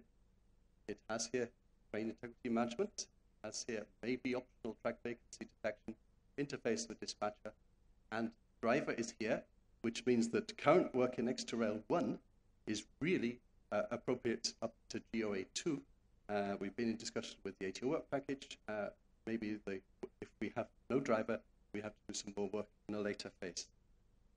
Let's go. This is how we're doing the work. Uh, we're doing the work by making a bunch of scenarios. They're depicted up here. Uh, we've done about three quarters so far of the first pass, but we're now working on a second pass with looking in more detail in slightly smaller groups, slightly smaller groups, um, uh, to follow through the detail to try to extract from that the detailed uh, system requirements and, and engineering rules and operational rules, and also including some safety analysis tasks in that, which leads to the deliverables here, which fall out from the information I was just saying from the scenario descriptions. These are the dates currently in the grant agreement for, extra, for us to deliver. Slight health warning that we've also been invited to participate in, in the trans in uh, 2018 as work package 5, and we may just ask for a small delay to, to similar time. Beyond 2018, okay, this is where there may be X2Rail-2 has just started. We have to make contact with the train integrity and train location work packages in there. X2Rail-3, maybe we get further into the prototyping world. Uh, and it's also planned originally in X2Rail-5, some work on moving block. So, I think this point I hand back to. Thank you, Simon. So, you saw what was the planning of the shift to rail so now is the question, when does ERA step in? Recently, beginning of September, we started uh, with a small work group to plan the scope, how we can coordinate and integrate the different level three activities ongoing. As Simon mentioned, also, we see that there are, let's say, two work streams within the different level three concepts. First of all, from the work group, we realize that within Network Rail, ProRail, we also heard it this morning from RFI in Italy, that the hybrid ETCS level 3 concept is considered as a quick win. Why is this? Already explained, the challenges of fast system recovery are covered because we still keep the, the current train detection systems. And the main challenges are to, to develop a TIMS for passengers where today uh, in Network Rail, ProRail, there is a pilot already testing this in the field, uh, which takes place, uh, I think, one of the upcoming months, where they will demonstrate that this hybrid level 3 concept can work with, and this is the very good news, with the current set of baseline 3 release 2 specifications and this change request that 940 that is already in the technical opinion that uh, will be explained tomorrow, which was a, a clarification on how to interpret uh, the minimum safe rear end uh, definition. So this is the very good news for me that uh, in fact uh, the baseline 3 release 2 is suitable for this hybrid level 3 concept. And in fact, normally from ERA side, there are not any additional activities required on the specifications. Of course, we uh, want to make it uh, visible that this is achievable without any change to the current set of specifications. So we still have to define in the last meetings how we will communicate and disseminate this hybrid level 3 concept. And of course, ERA, as part of the fourth railway package, will deliver once this hybrid level 3 comes into a commercial tendering phase, a trackside decision for this trackside uh, hybrid level 3 deployment. Then on the shift to rail, where uh, Simon clearly explained that the base case is the full moving block without any train detection system, here the ERA has to disseminate once the results of shift to rail are available to disseminate this uh, to the broader, let's say, the, the complete railway sector, and to organize some workshops, mainly to see how the challenges that were uh, that has been discussed about fast system recovery without any train detection systems can be handled? Will this be done by technical exported constraints? Will there be maybe operational constraints? So this is one of the elements that we will plan uh, next year also workshops to disseminate the shift to rail results on the full, let's say, level three concept without any train detection systems. And here then we have to work together um, to align how far this can also uh, lead to any potential things that has to be incorporated for the CCS TSI update in 2022 for the which is completely coherent with the other game changer on FRMCS, where we have the same time planning. So this is what we intend to do for the next years. We start a very interesting journey, um, and we look forward to all your contributions on that.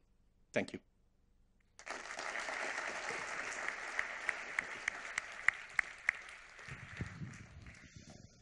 Thank you. And uh, the other game changer we're going to discuss now is ATO.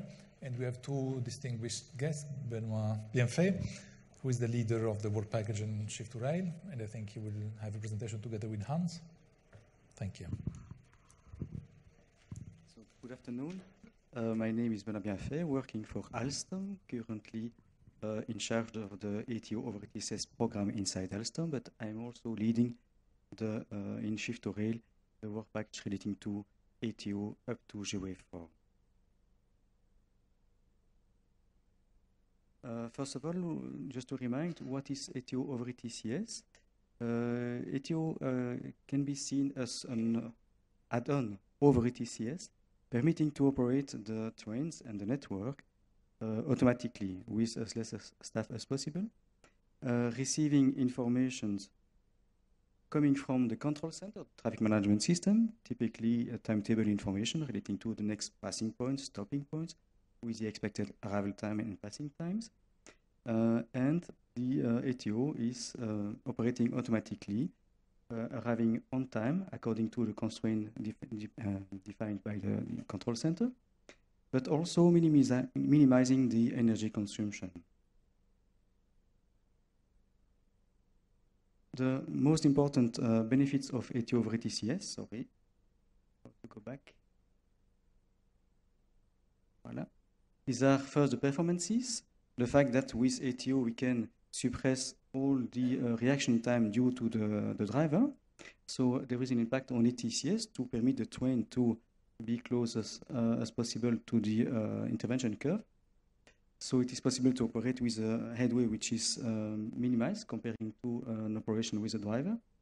It permits also to reduce the uh, travel time, the dispersion, the dispersion in travel time, and this permits the operator to reduce the margin to be put in the timetable to uh, foresee these random uh, travel times. Once more, it permits to operate more trains on the same uh, time interval on the same infrastructure. The second type of um, interest is the quality of service with a better punctuality by definition and also a greater comfort. And finally, uh, we can also reduce the operating cost, reducing the energy, as I said, but also reducing the train fleet and staff necessary to uh, operate a line uh, for a given uh, operational service.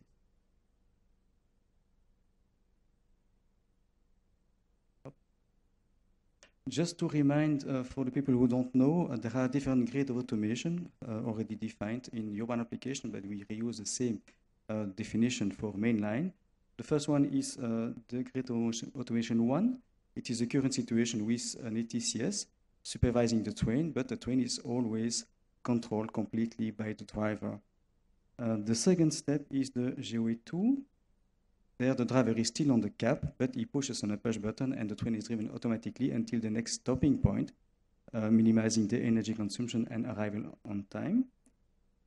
The third level of automation is driverless, so there is no driver anymore in the cab, but there is still somebody in the train to support the degraded mode and to uh, help the passengers in case of. And finally, the last uh, level is the grid rotation 4, which is unattended. There is nobody on the train except passengers and uh, or freight. Uh, one specific uh, grid of automation is for mainline. We have added the J1 Plus, which is uh, the CDAS, uh, the driver advisory systems.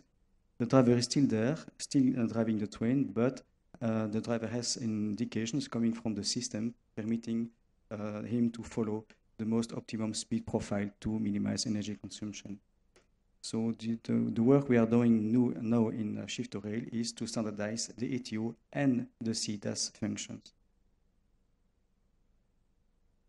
This is the, the, the, history and where we are. Uh, we have started to work in the context of the TEN-T program uh, more than five year, years ago. Uh, we have worked a lot with the users group representing uh, several operators. Uh, and they have defined the operation concept, operation requirement uh, relating to the ATO over ETCS, Uh, not only limited to ATO, but the whole signaling system, uh, and covering the different grid automation from GO1 to uh, until GOA4. then we have worked with the UNISIG people, the suppliers, in collaboration with the users, and we have first extract all the requirements relating to the grid automation 2 because in the TEN-T program, we were requested to define an ATO over ETCS, limiting the impact on ETCS. So at the end of this, we have already a first draft of specification defining the interoperable solution for an ATO over a TCS in GOA2. And this is now the starting point to develop the different products by the different suppliers compliant with this specification to realize uh, factory demonstration, interoperable demonstration, and finally pilot test. This is the first work stream in Shift to Rail program. The first work stream uh, is to develop this product in line with this uh, standard specification and to demonstrate it on a pilot line. The pilot line will be in uh, UK, a network rail will host us, um, and it will be, as you will see, in 2019. The second work stream is reusing the uh, requirement relating to GOA3 and GOA3.4 coming from the users. And we have also started this work. This is the second work stream in Shift2Rail. And this work stream, uh, of course, we start uh, from the beginning uh, to define the solution permitting to manage GOA3 and GOA4 um, system, driverless and unattended, based on this specification and the purpose is also to realize some tests in factory, interoperability test, and also pilot test, but it will be more in 2020-22.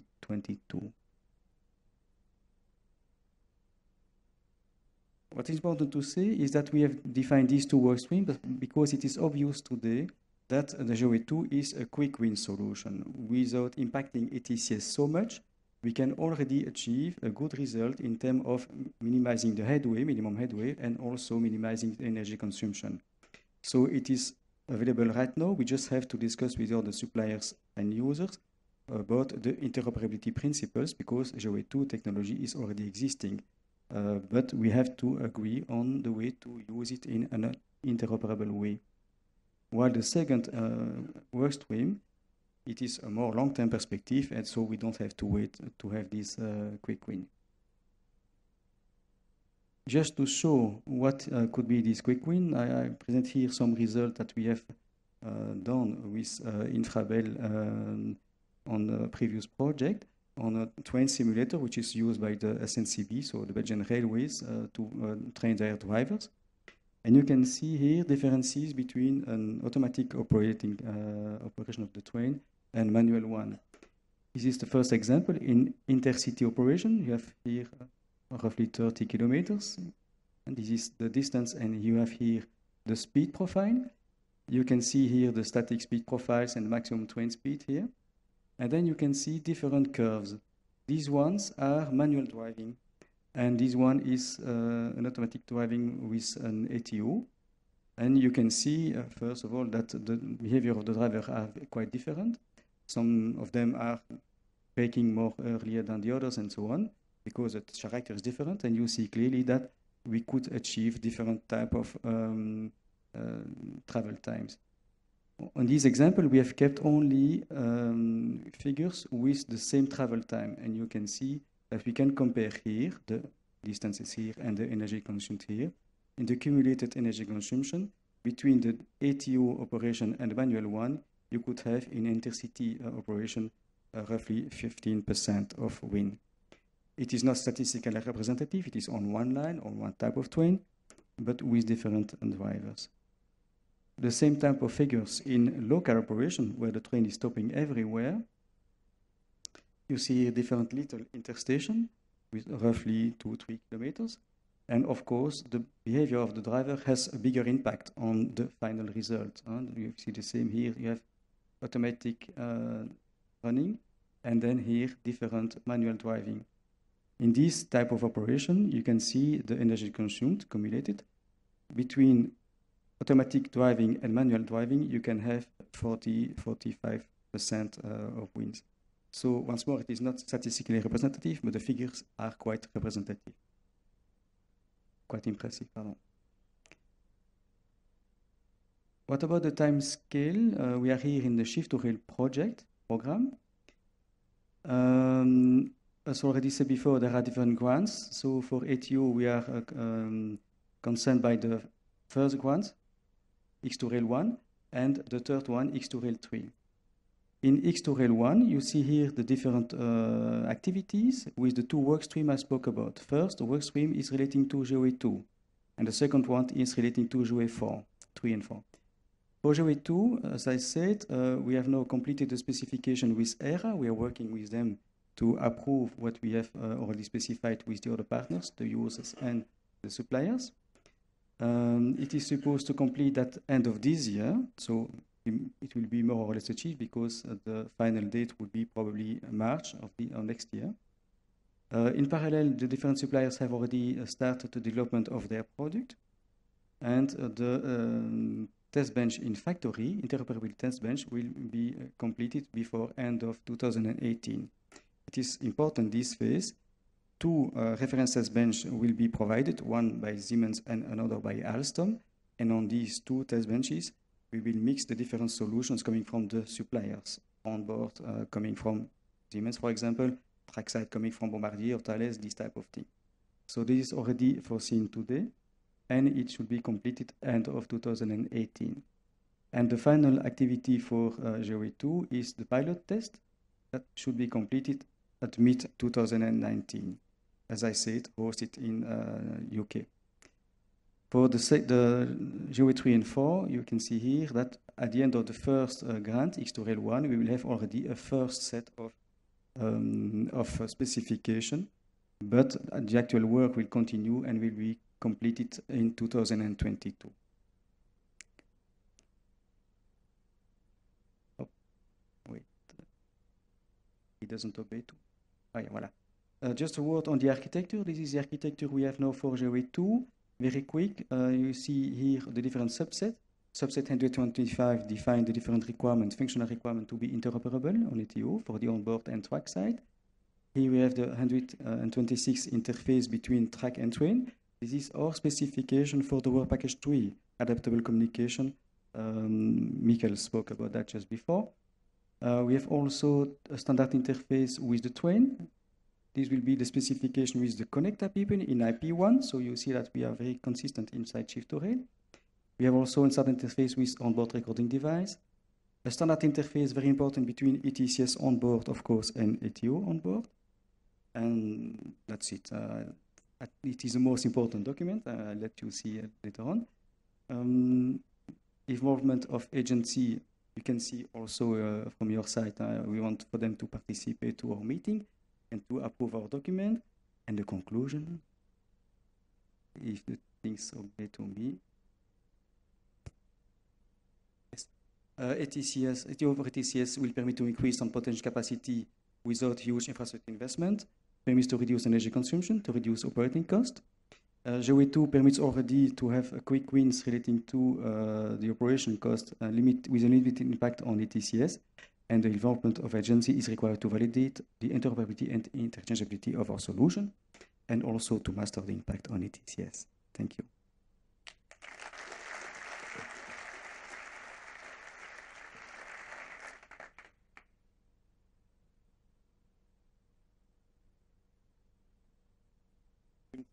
It seems there's a problem.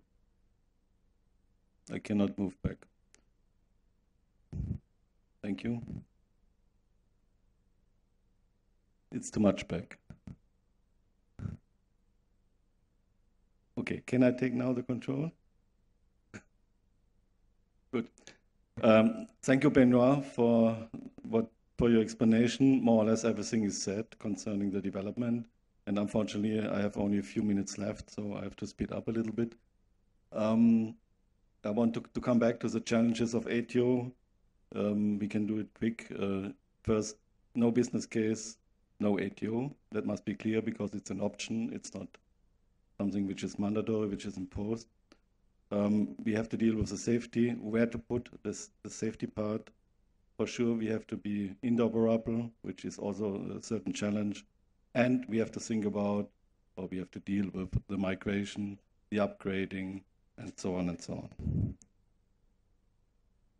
The guiding principles I want to skip because it was already said, and I think it's obvious what is written here. Um, what is the involvement of the agency, or let me say, what have we done? We have made a stakeholder survey, and this is more or less the outcome, which are the guidelines for our assessment of the shift rail activities, which have which may have impact on the TSI CCS. It's clear ATO must be interoperable, no problem for this. Um, ATO should be operational over the whole network. Several stakeholders or CEOs are interested when they invest trackside ATO that the onboard can run over the complete network with ATO. Unfortunately, not the complete network is equipped ETCS.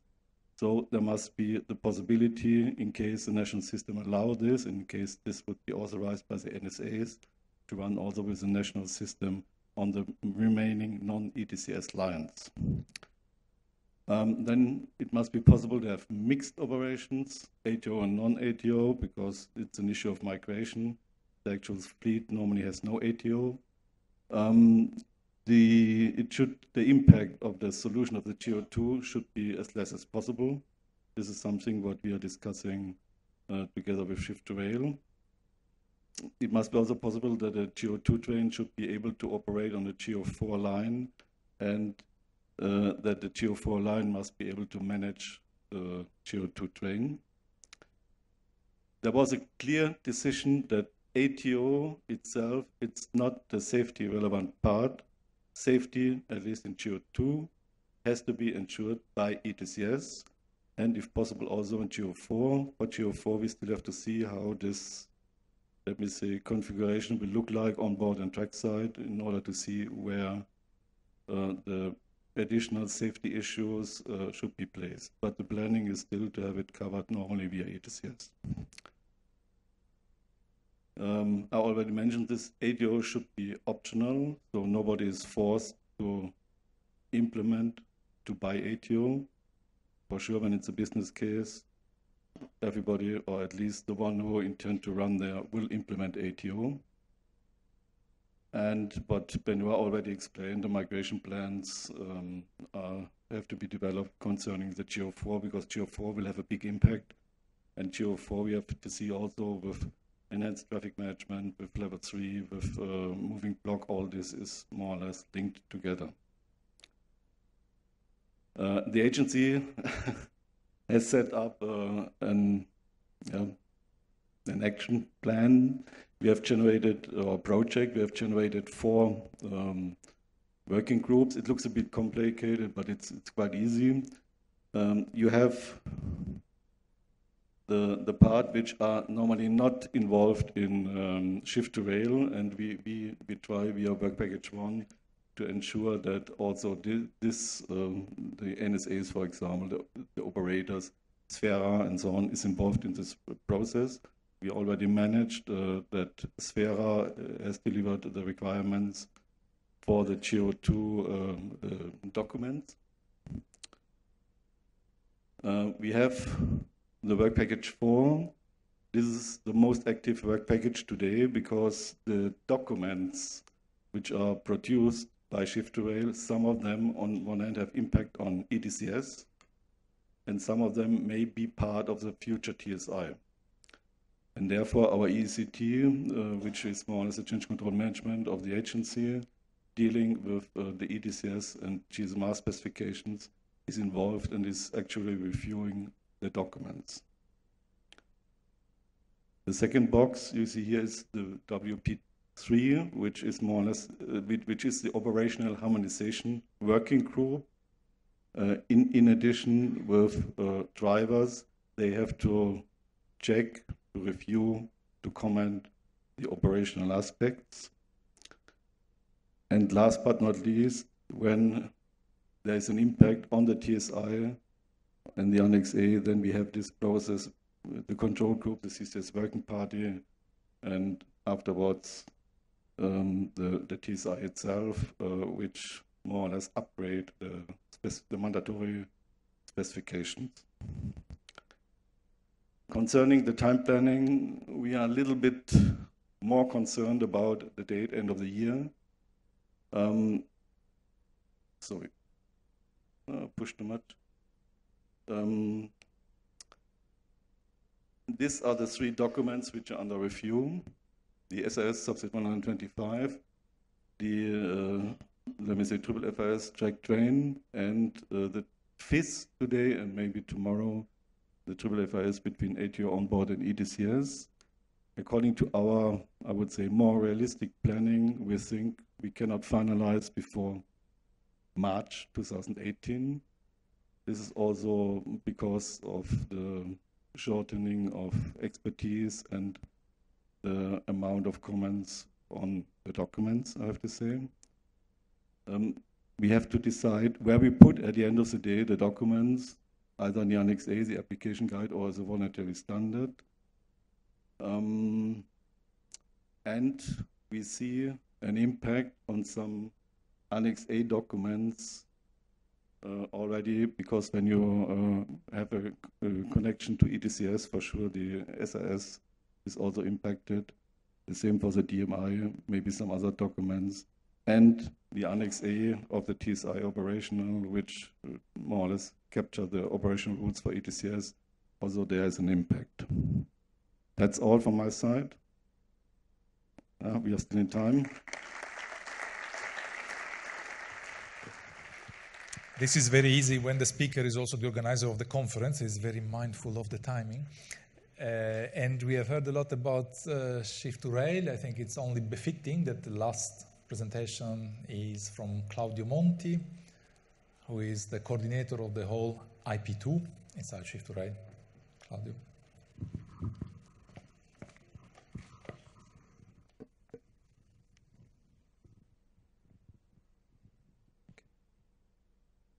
Well, good afternoon and thank you for the opportunity to be here today and to present you what Rail is going to produce in the next oncoming years in the railway field. Uh, the aim of presentation today is just to provide you a short summary about which are the main targets and the vision toward the future of railway system and some explanation on the shift to rail approach to achieving our challenging targets. The presentation is more focused on the Innovation Program 2, Advanced Traffic Management and Control Systems, that deals with signaling, automation, and telecommunication, so the main topics of the today conference. Let's start from the need well, in the past, we had a lot of funded projects, but often what's, what was lacking was the approach system level. So sometimes this produced difficulty to make investment really profitable. And the issue was to have research and innovation fragmentation.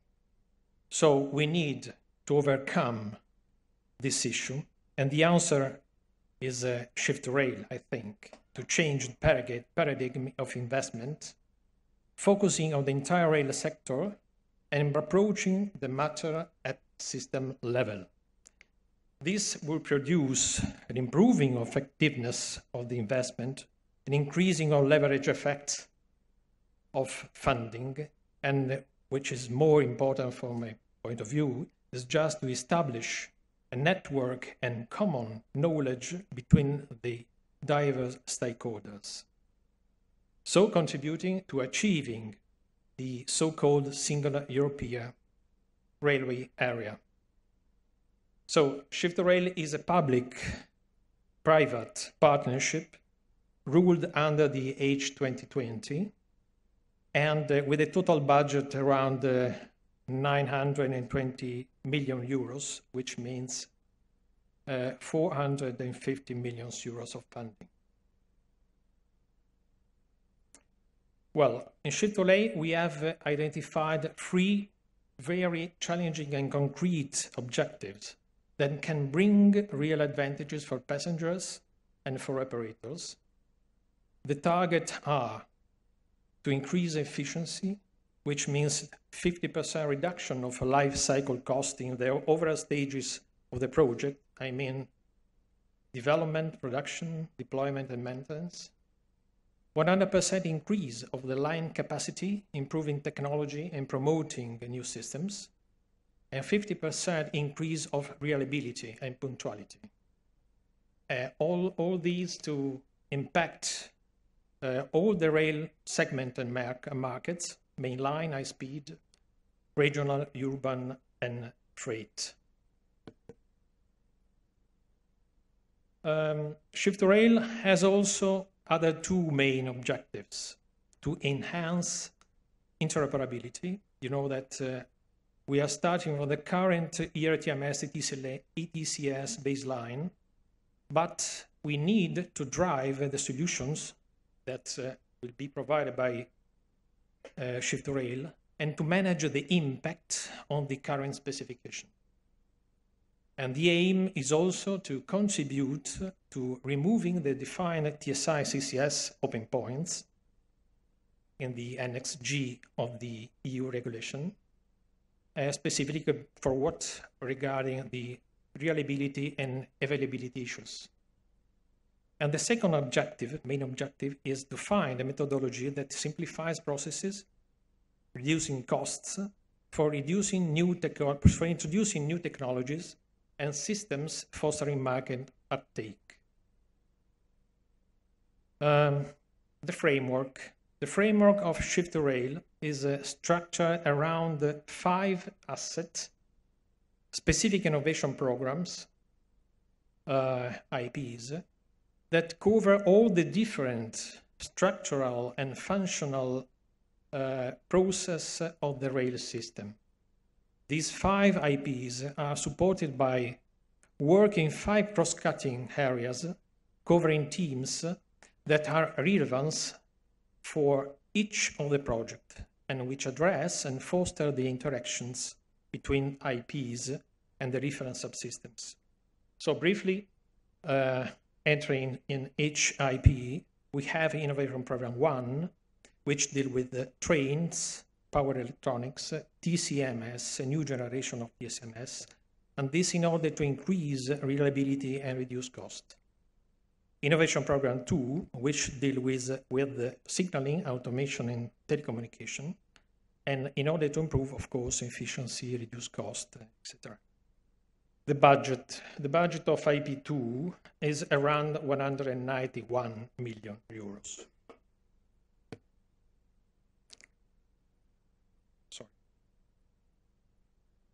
Well, the Innovation Program 2 foresees uh, 11 technology demonstrators that cover almost the entire signaling and automation in telecommunication systems. And here I would like to underline also that we have a wide, very wide participation in Shift to Rail IP2 of the most important European industries and operators. And in the IP2, we have uh, 17 partners with the four operators, Network Rail, Packet, DB and, SNCF, and the European Consortium Europe. And of course, the most important uh, industries in the field of uh, signaling and telecommunication. We have also, of course, uh, IP2 and Shift2Rail is also open to receive contribution from uh, external stakeholders and projects. We have the agency, we have EUG on board, UNISIG, funded project uh, like NGTC, STARS, uh, and other important entities. All, of course, contributing to achieving our challenging targets. Well, uh, entering much more detail, more detail in uh, each uh, technical demonstrator. Briefly, we have 11 TDs in IP2, uh, which title are actually mostly self-explanatory, and they can be clustered in uh, signaling supervision systems where we have moving block, uh, which aims on the basis of ERTM ETCS to promote to apply moving block or different kinds of moving block as we saw before, uh, achieving high capacity and uh, decoupling the infrastructure from the train uh, performance and so contributing to reduce the use of trackside train detection. Uh, fail-safe train positioning based on GNSS, and again, on the basis of ERTMS ETCS, uh, we have to define a safe positioning system based on GNSS and also contributing to reduce the number of physical balises on track by using the concept of uh, virtual balise. And then we have virtual coupling. This is uh, something new in uh, the panorama of, uh, of signaling because uh, uh, it aims to explore some innovative concept of virtual trains which are capable, capable of operating physical trains much closer to one another inside their absolute braking distance and dynamically modify their own composition on the move. And traffic management system evolution, uh, which aims to enhance the standardization of traffic management processes in order to rationalize automation process and simplify train dispatcher operation. We have also specific subsystems, as uh, we saw before, ATO up up to GOA4, that on the basis of ERTMS, ETCS, aims to implement automatic driving up to the highest grade of automation. Onboard train integrity, uh, which aims uh, to detect on board the the position of the tail and the integrity of train without the interaction uh, with the trackside equipment. And radio connected object controller, which aims to provide distributed control of remote trackside objects, such as points, level crossing, signals, and others, without the need to uh, lay down cables uh, and to have wire between uh, interlocking and the object controllers.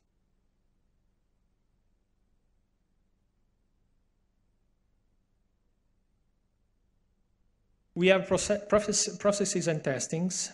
Um, zero on-site testing that uh, aims to minimize uh, or to reduce to zero the on-site test, the need to have on-site test. So we need to improve as much as possible lab testing capabilities and of course to define a common and dedicated system and architecture and methodology uh, for lab testing uh, to have also a common test process and framework. Formal methods. So the aim is to introduce in, uh, in our system and uh, uh, the formal and standardization process for the definition of the requirement for designing, for verification and validation. So for all the stages or the phases of the V-cycle, CENELEC V-cycle.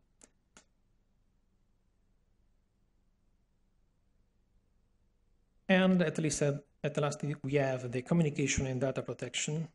So the adaptable communication for railway, as we saw before in detail. to overcome the current limitation of GSMR, and cybersecurity to define a cybersecurity system and methodology dedicated to railway.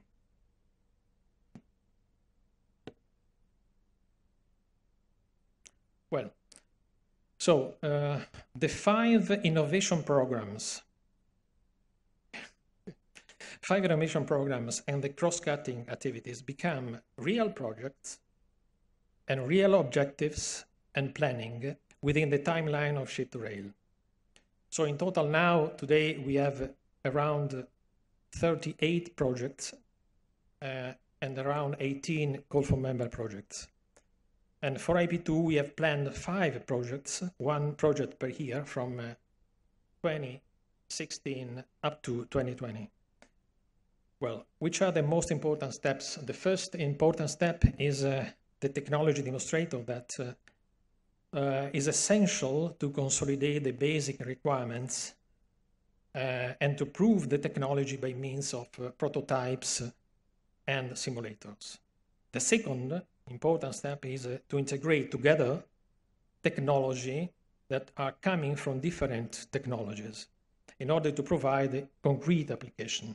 And the third step is a so-called system platform demonstrator that aims to bring solution to maturity with application in the main market segments, so high-speed line, regional urban freight. A short view regarding about the, the planning of, uh, of IP2.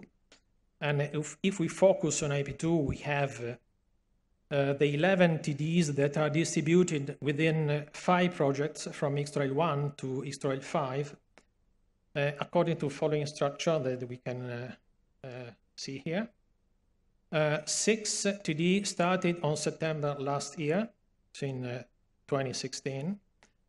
Um, they are communication, adapter communication, ATO up to GOA4, moving block, zero site testing, and uh, radio connecting object controller and cybersecurity.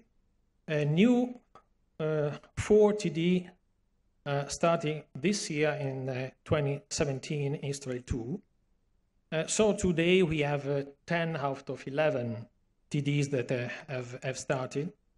Uh, only one TD will start in uh, 2018, and it is the virtual coupling. We have also open codes, and now they are linked with the, uh, most of the TDs that we have in IP2.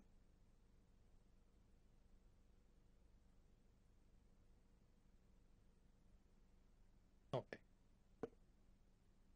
No. okay. I, I try to speed up.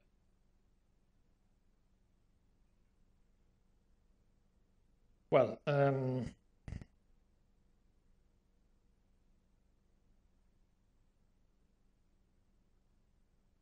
now because uh, here it's important, we, can go here. Just I want to show you. Voilà.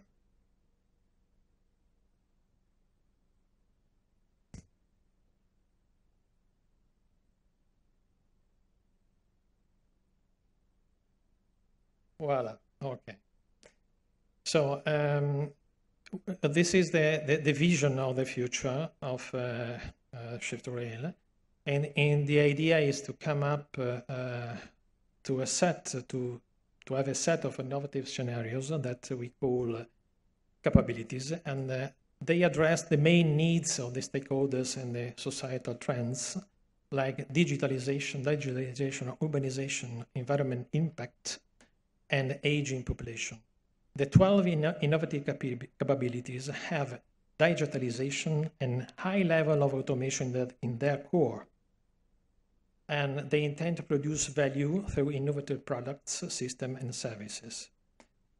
So each capability is built by means of a contribution of building blocks. You can see here the building blocks from that are coming from each TDE, and they cooperate together in order to build the structure, the functions, uh, and the operational procedure of the, of the new system. So the intention is to bring the idea into reality through practical application able to provide a vision. So just the last one, Pio.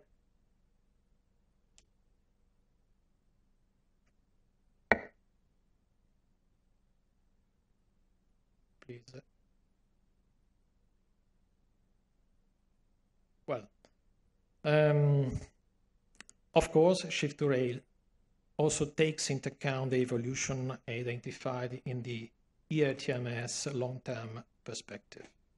And so, of course, it is important to, to highlight this because uh, Shift to Rail is, uh, let me say, the answer of most of the game changers of the of uh, uh, long-term perspective for ERTMS. Well, stop here. Thank you. Okay. Thanks a lot. Thanks.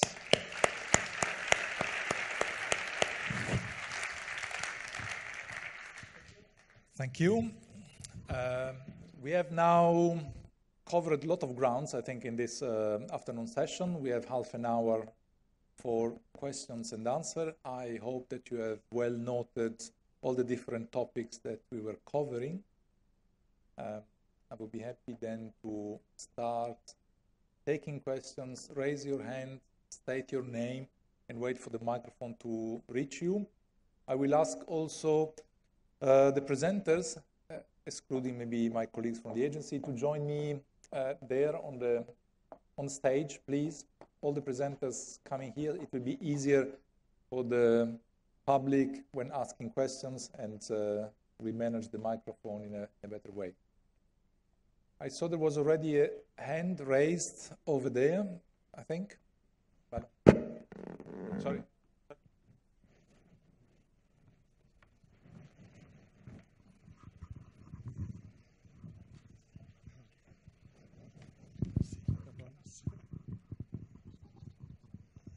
Not up. Okay. Thank you, Pio, for giving me this uh, second chance to ask a question. I, I would like to uh, raise the question to Mr. Bienfait of Alstom about the, the business case for uh, ATO. We have heard that also the agency is, um, is concerned about the need to have a business case. That's no, uh, uh, very logic. So um, when we look at that, uh, the differences between GOA 3 and 4, uh, the only real difference is when the, the system is out of order, so when the, there is some special case to manage. And uh, GOA4 is supposed to do automatically. Uh, this is perfectly possible. We know, know uh, it just take. Um, so if we look at the um, uh, space-based systems like uh, satellites or interplanet, interplanetary okay probes. They are they are just acting this way. But the the matter is how much is the cost, and notably, what is the uh, foreseen delta of the cost between the GOA three and GOA four approach in order to realize this automatically, and what about uh, this delta cost uh, with respect to the normal cost of a, of a driver? So is there any, or there will, there will be really a business case for GOA4 in the future? So, in fact, this question we have to ask first to the users because they are willing GOA3 and 4. And so the answer is not so easy to, to give because I will not give you figures for that. What I can say to you is that according to the actual situation, it will be interesting for the users to have GOA3 or GOA4 probably not on all the network, but on some particular cases. For example, there is a big pressure since a long time coming from the users to have already, right now, already in GOA2 Plus, automatic turnback, driverless automatic turnback. And for this, the computation is quite easy to make. If you have the total travel time, it is the, equal to the number of trains miles the headway. If due to the win of time, because you don't have to change of cabin, blah, blah, blah, you can win part of percentage of this total travel time. It is the percentage you can win also in the uh, fleet unit. So this is just one example. So for some operator, when it is possible to operate without any driver because it is possible to protect the, the track. On this type of turn-back uh, um, location, it is already one business case already for them. Other cases are for the management of the uh, stabling, this type of thing. So it is case by case, and the business case are done by the users. There is some papers uh, given by them to define clearly that they need that for them, but I will not give you figures like that. Yes, in, in, order to complete this, especially uh, GOA4 is strongly requested and supported by several railway undertakings. So it seems they see a business case. Thank you. Hello, my name is Matthias Müller. I'm from Thales. Um, first of all, thanks a lot uh, to all the speakers for their short but very informative presentations. Um, I especially like the part about radio communications where you mentioned the need of having a gradual approach and not having like a big step from one system to the other. And I want to come to the TSI CCS 2016 and the step from GSM baseline 0 to baseline 1. That step didn't seem too gradual, and my question is to Hans Bierlein, to the constraint you mentioned that um, Germany, the German NSA is giving in asking people that make a reauthorization um, to, to use the new uh, GSMR baseline 1 system. As I read the TSI CCS, um, you really, basically there's no way around it, so you have to use the GSMR baseline 1 system. Am I mistaken? Uh, this is correct when you authorize. But the trick uh, in this case is that you're already authorized to operate in Germany. It's line specific. And when the line is uh, extended, uh, you are reauthorized. And with this reauthorization, um, you have to use the baseline one. This is the trick. Because normally you should be authorized for an area of use, for Germany, whatever. And uh, in case there is a new line placed in service, normally it's the line who has to ensure that everything is interoperable with the already authorized trains, and therefore there is no authorization, no reauthorization needed. You see the point. For sure, when you have a new authorization, you should apply the last version of the TSI, which is the 2016 with baseline one. Okay, we can ask for derogations, but the member state is uh, can insist that this TSI will be applied. Um, just a follow-up question. So when we um, change the software of the ETCS system, we would have to make another authorization, and that automatically would imply even for old projects that we have to install a new GSMR, right? Theoretically, yes. yes. Thank you. I think this is not the theory, but uh, coming back to the presentation on vehicle authorization that was given by, by Jean-Francois, I, I, think that this pre-engagement phase, I think, is the key where we should have the discussion between the applicant and the NSAs and the agency on the applicable legal base. I mean, there are valid cases when economic reasons or other can dictate the negotiation or the need to use a previous version of the TSI. I think what is important is that everything is done with the maximum degree of transparency that is possible. Thank you.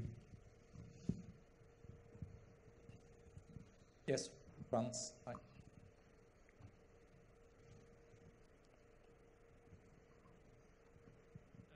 Uh, maybe not a question, but a tip for Mr. Monti. Uh, on his TD7 and TD10, he speaks about uh, radio-controlled object controllers, and he speaks about uh, formal methods. May give him a tip. Uh, I'm the project director of EULYNX initiative, and we're going to publish Baseline 2 in a month from now. And you'll find formal methods there, how you do specifications, how you do requirements uh, management, including modeling of your requirements and state machines to execute your requirements. And you also find uh, how we can communicate with object controllers over an IP-based network. So have a look at the website, eulynx.eu.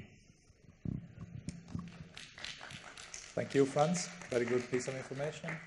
I think that we welcome all this kind of contribution. Yes, Robert. Thank you, Robert Ciofatti. Uh, this question to Michael Mikulandra presentation regarding shift rail. Uh, uh, Michael, I saw that you mentioned the fact that the uh, is providing uh, specification the, in your uh, list of deliverables. Uh, since I know that all the requirements which are addressed are coming through ETSI TCRT, and I did not discover any new requirement. Is do you mean by that it is the use case which are delivered by the FRMCS project uh, as such, and um, so which means that th these are the input that you are delivering? I think I mentioned in my presentation that uh, the no, no, it's the closer. Okay. so I think I mentioned in my presentation that the user and system requirements document, uh, which is now finalized by Work Package 3 in X2Rail-1, was heavily using the inputs from the UIC FRMCS project US document.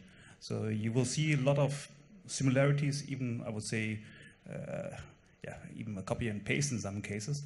And uh, but on top, we have now also taken into account the requirements from the other work packages in X2Rail-1 or related projects uh, out of Shift Rail.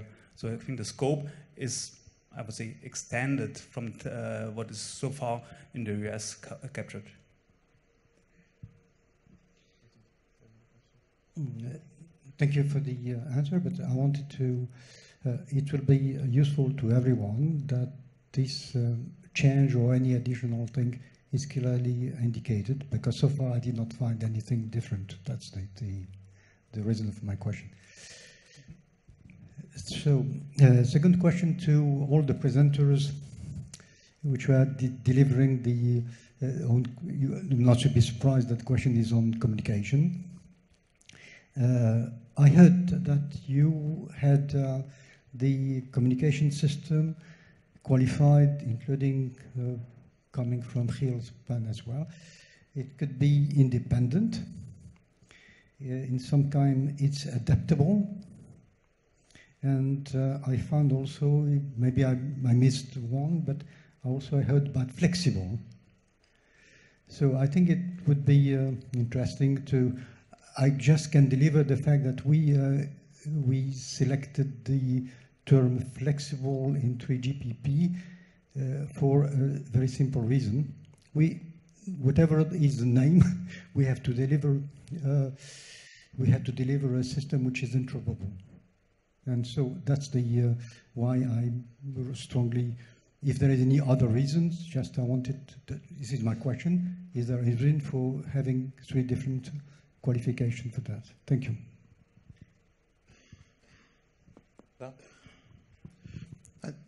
Thank you for a question, Robert. I think that the the terms were used in, different instances, and I think that you're right, it might create confusion. And I do agree that we have to go for flexible, because if you go to terms, many terms, many names, we get um, in, in, a, in a big confusion. Um, when we speak, for me, when I said bearer independence for ETCS, it's just a policy on ETCS independence, whatever the system is. It doesn't mean any system will serve ETCS and any frequencies will be allowed to work with. And you're absolutely right here. I think there were more context. The questions were, the discussion was about a number of subjects and there were similar terms. Now, because we're going to go in 3GPP world, we have to use their language, so the term will be flexible. Thank you. Yes, please. Yeah, uh, my name is Peter Brooks from the Dutch Ministry. I have a question to uh, ERA. The, the first speaker of ERA explains us the, the new system in the fourth railway package, eh, that we change from putting into service to placing on the market and bringing a train in operation. Um, and that um, placing on the market, that has to deal with uh, uh, technical compatibility. That was also mentioned, and that you have to prove technical compatibility with the TSI CCS. In the um, placing in, in, in operation, uh, that's a discussion between infra manager and railway undertaking, and then you talk about uh, uh, um, RINF and TSI operations. My question, in, in the morning session, there was a lot of debate about testing uh, procedures for proving compatibility. That discussion, to my opinion, should be limited to placing uh, on the market. And can you confirm that an infra manager can't require, is not in the position to request testing uh, to the rail undertakings in the discussion around the operation? Yes, I think that clearly there is no legal basis in the directive for a role of the infrastructure manager to define what kind of uh, testing the RU is, the, the, the railway undertaking is obliged to, to undertake.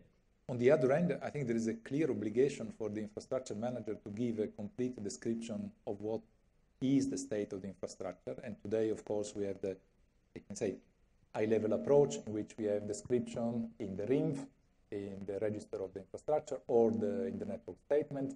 And we understand, or personally understand very well, that this is not sufficient in many cases to describe exactly how the ETCS implementation has been done. I find that the possibility to have testing with defined test scenarios that clearly describe how the infrastructure has been built and what is the expected behavior of the trains is the way forward to make sure that we bridge this gap between the description of the infrastructure in the RINF, which is a bit at a high level and I can say very valid and working very well for sure uh, with the more traditional interfaces that we have with, with rolling stock, where we have uh, a very long experience. With ETCS, it is clear that we need an additional level of confidence and of details in the description. So it is not for the IM to impose tests on the RUs. On the other hand, I think it will be very valuable, especially given the discussion that we are having with the testing working group in the, as a subgroup of the platform, to come up with a transparent way to ensure that IM defines what are the reasonable tests that must be fulfilled either in laboratories if possible or in a test track or on the line, and that RUs can demonstrate that they have been able to pass the test, or the suppliers can demonstrate that the onboard which is installed in the specific trains or vehicles have already passed the test. I think that this is back to the presentations we have seen this morning. We have the two aspects. We have the vehicle authorization, but on the other end, we have also the trackside, authorized by NSAs, but subject to the approval of the agency. I, I think that if we manage not to have a proliferation of trackside standards for the implementation of ETCS, the possibility to do a very limited set of tests is a reality. And I think it could be a good way forward to ensure that uh, we are fully confident on the interoperability. But of course, we have to manage both angles. And again, it is not a matter of IMs have a right to impose on RUs. I think it is the cooperation to ensure the safety interoperability of the system, which is managed under the NSAs and the agency role that uh, will make sure that there is this cooperation between the two actors. Sorry for the lengthy question, but the question is very good. And we have not all the elements to answer that in the detail.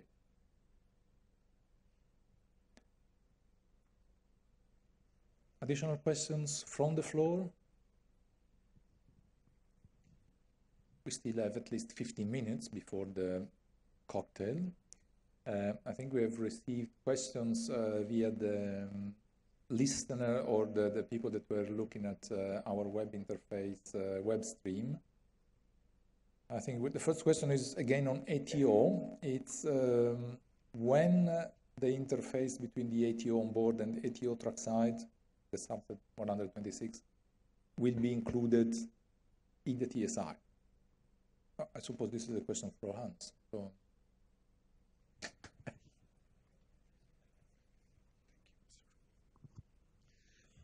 In case the final decision is that this interface has to be included, it will be done with the next revision of the TSI, and as already mentioned, this would be, I would say, around 2022 um, there might be a technical opinion before.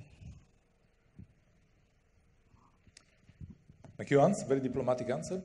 Um, The second question we received uh, from the web is why does the applicant have to indicate all the technical details in an area of use? Why not just mention the line segments in this area during an application? And maybe I will ask then Jean-François to take question or, or Han? Oh, let, let, me take it. Um, on one hand, this technical details is not so much. You will see what will be the outcome of our activity. On the other hand, when you want to mention all the line segments you want to operate, uh, I think you need a lorry in order to put all the information in, in, in, in a paper version. Because uh, I think a station, a simple station, has 100, 200 line segments. So it's not really practical to mention line segments. And we will try to reduce the number of technical uh, uh, the, uh, of technical details as much as possible. Thank you. Um, the third question, I think, is off topic. I, I will read it in any case, and I suppose that uh, we can address it maybe tomorrow. I think that maybe this is more a question for uh, the corridors, is about radio infill. Is radio infill, uh, I mean, for level one, pretty level one, not hampering the corridor operation, RFC? I suppose the question is for RFC1, as far as I understand.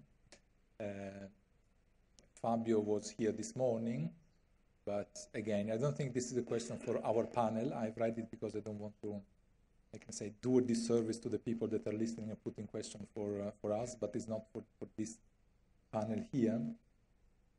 If I may, I, I had a question for the GSMR industry. Uh, we have listened to the two presentations, I mean the future and, and the present, GSMR and, and the future system. And one of the questions that we hear a lot is about how much of the current investment can be still saved when the new system will be defined. And if I am a railway that is investing today in a GSMR network, how much of the investment I'm making, especially on the network side, can be saved when migrating to the future system. Is there any way to give an indication on that? No, it, it's for sure a little bit tricky. Uh, the first thing, most of the investment, let's say on the tracks, uh, we have in the uh, in the sites, building the antennas, building the BTSs for the coverage.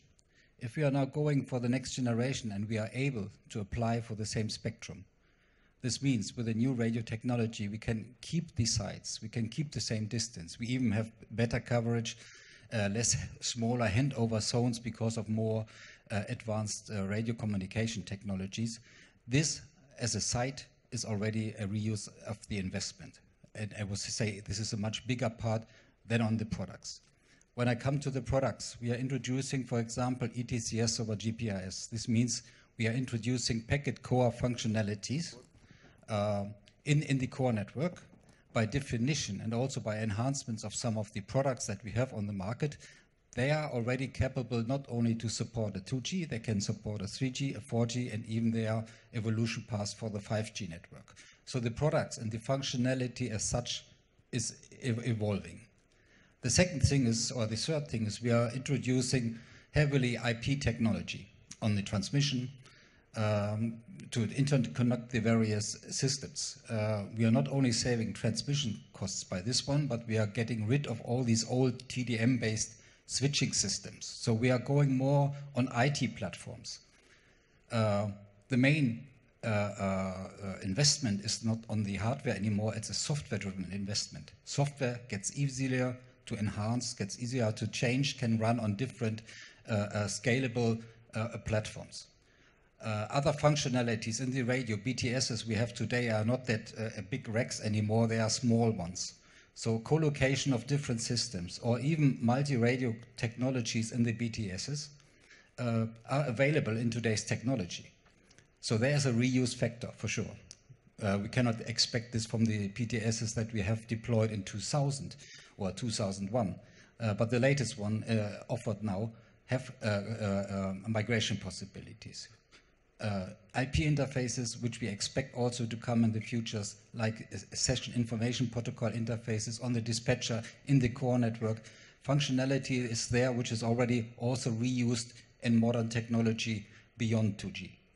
So, um, but as I said, the products as such and all the civil works and the site costs uh, uh, for, for the spectrum, this is the most uh, uh, uh benefit that you have as a railway uh, and, and, the most savings are there if you can rely on the same range of spectrum and not have to go to higher spectrum where you have to have build additional sites for sure. Thank you.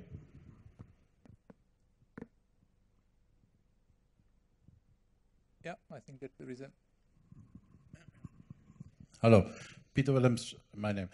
Um, if I'm an owner of locomotives uh, recently bought with ETCS uh, with a brand new GSMR system in it, voice and EDOR. Um, I'm getting a little bit uh, yeah, concerned about the, the, developments because here mentioned, already are mentioned uh, two major upgrades of these GSMR technology. One for Germany, eh, when you have a major change for baseline 3, for example, you need to replace it with the latest standard. And then if I look to the, to the long-term solution, end of 20, uh, I have another upgrade. That means in the locomotive lifetime of 30 years, I have to replace it three, four, maybe five times. Um, it would not be such a big issue if I could replace it like my cell phone. Uh, that last two or three years, and then I buy a new one and uh, download the copy on the cloud, and then I continue. Um, in ERTMS, GSMR is fully integrated in the system as such.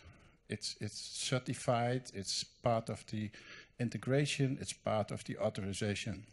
Can we smooth this migration by developing triple IVAS specifications so that I can plug and play GSMR equipment without recertification of the whole locomotive and reauthorization.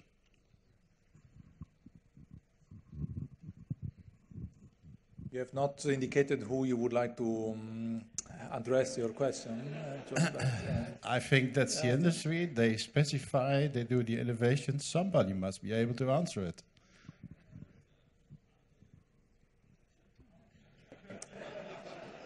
Yes, I, I, I think the, the question is, is, is, very valid, and uh, I think this is the reason why we are so keen in the cooperation with Shift2Rail. I think that we fully share uh, your, your concern that innovation is necessary and is good. We have heard how the other sectors are moving much faster. On the other way, we should not be hampered or, or create for ourselves unnecessary problems or costs due to the introduction of innovation.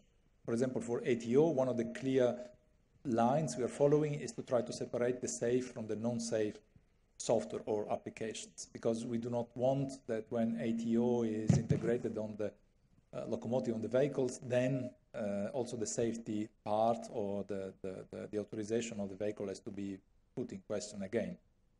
As Joseph was saying this morning, we will see how the vehicle authorization details on the implementing act will be voted uh, tomorrow, I think, at the RISC.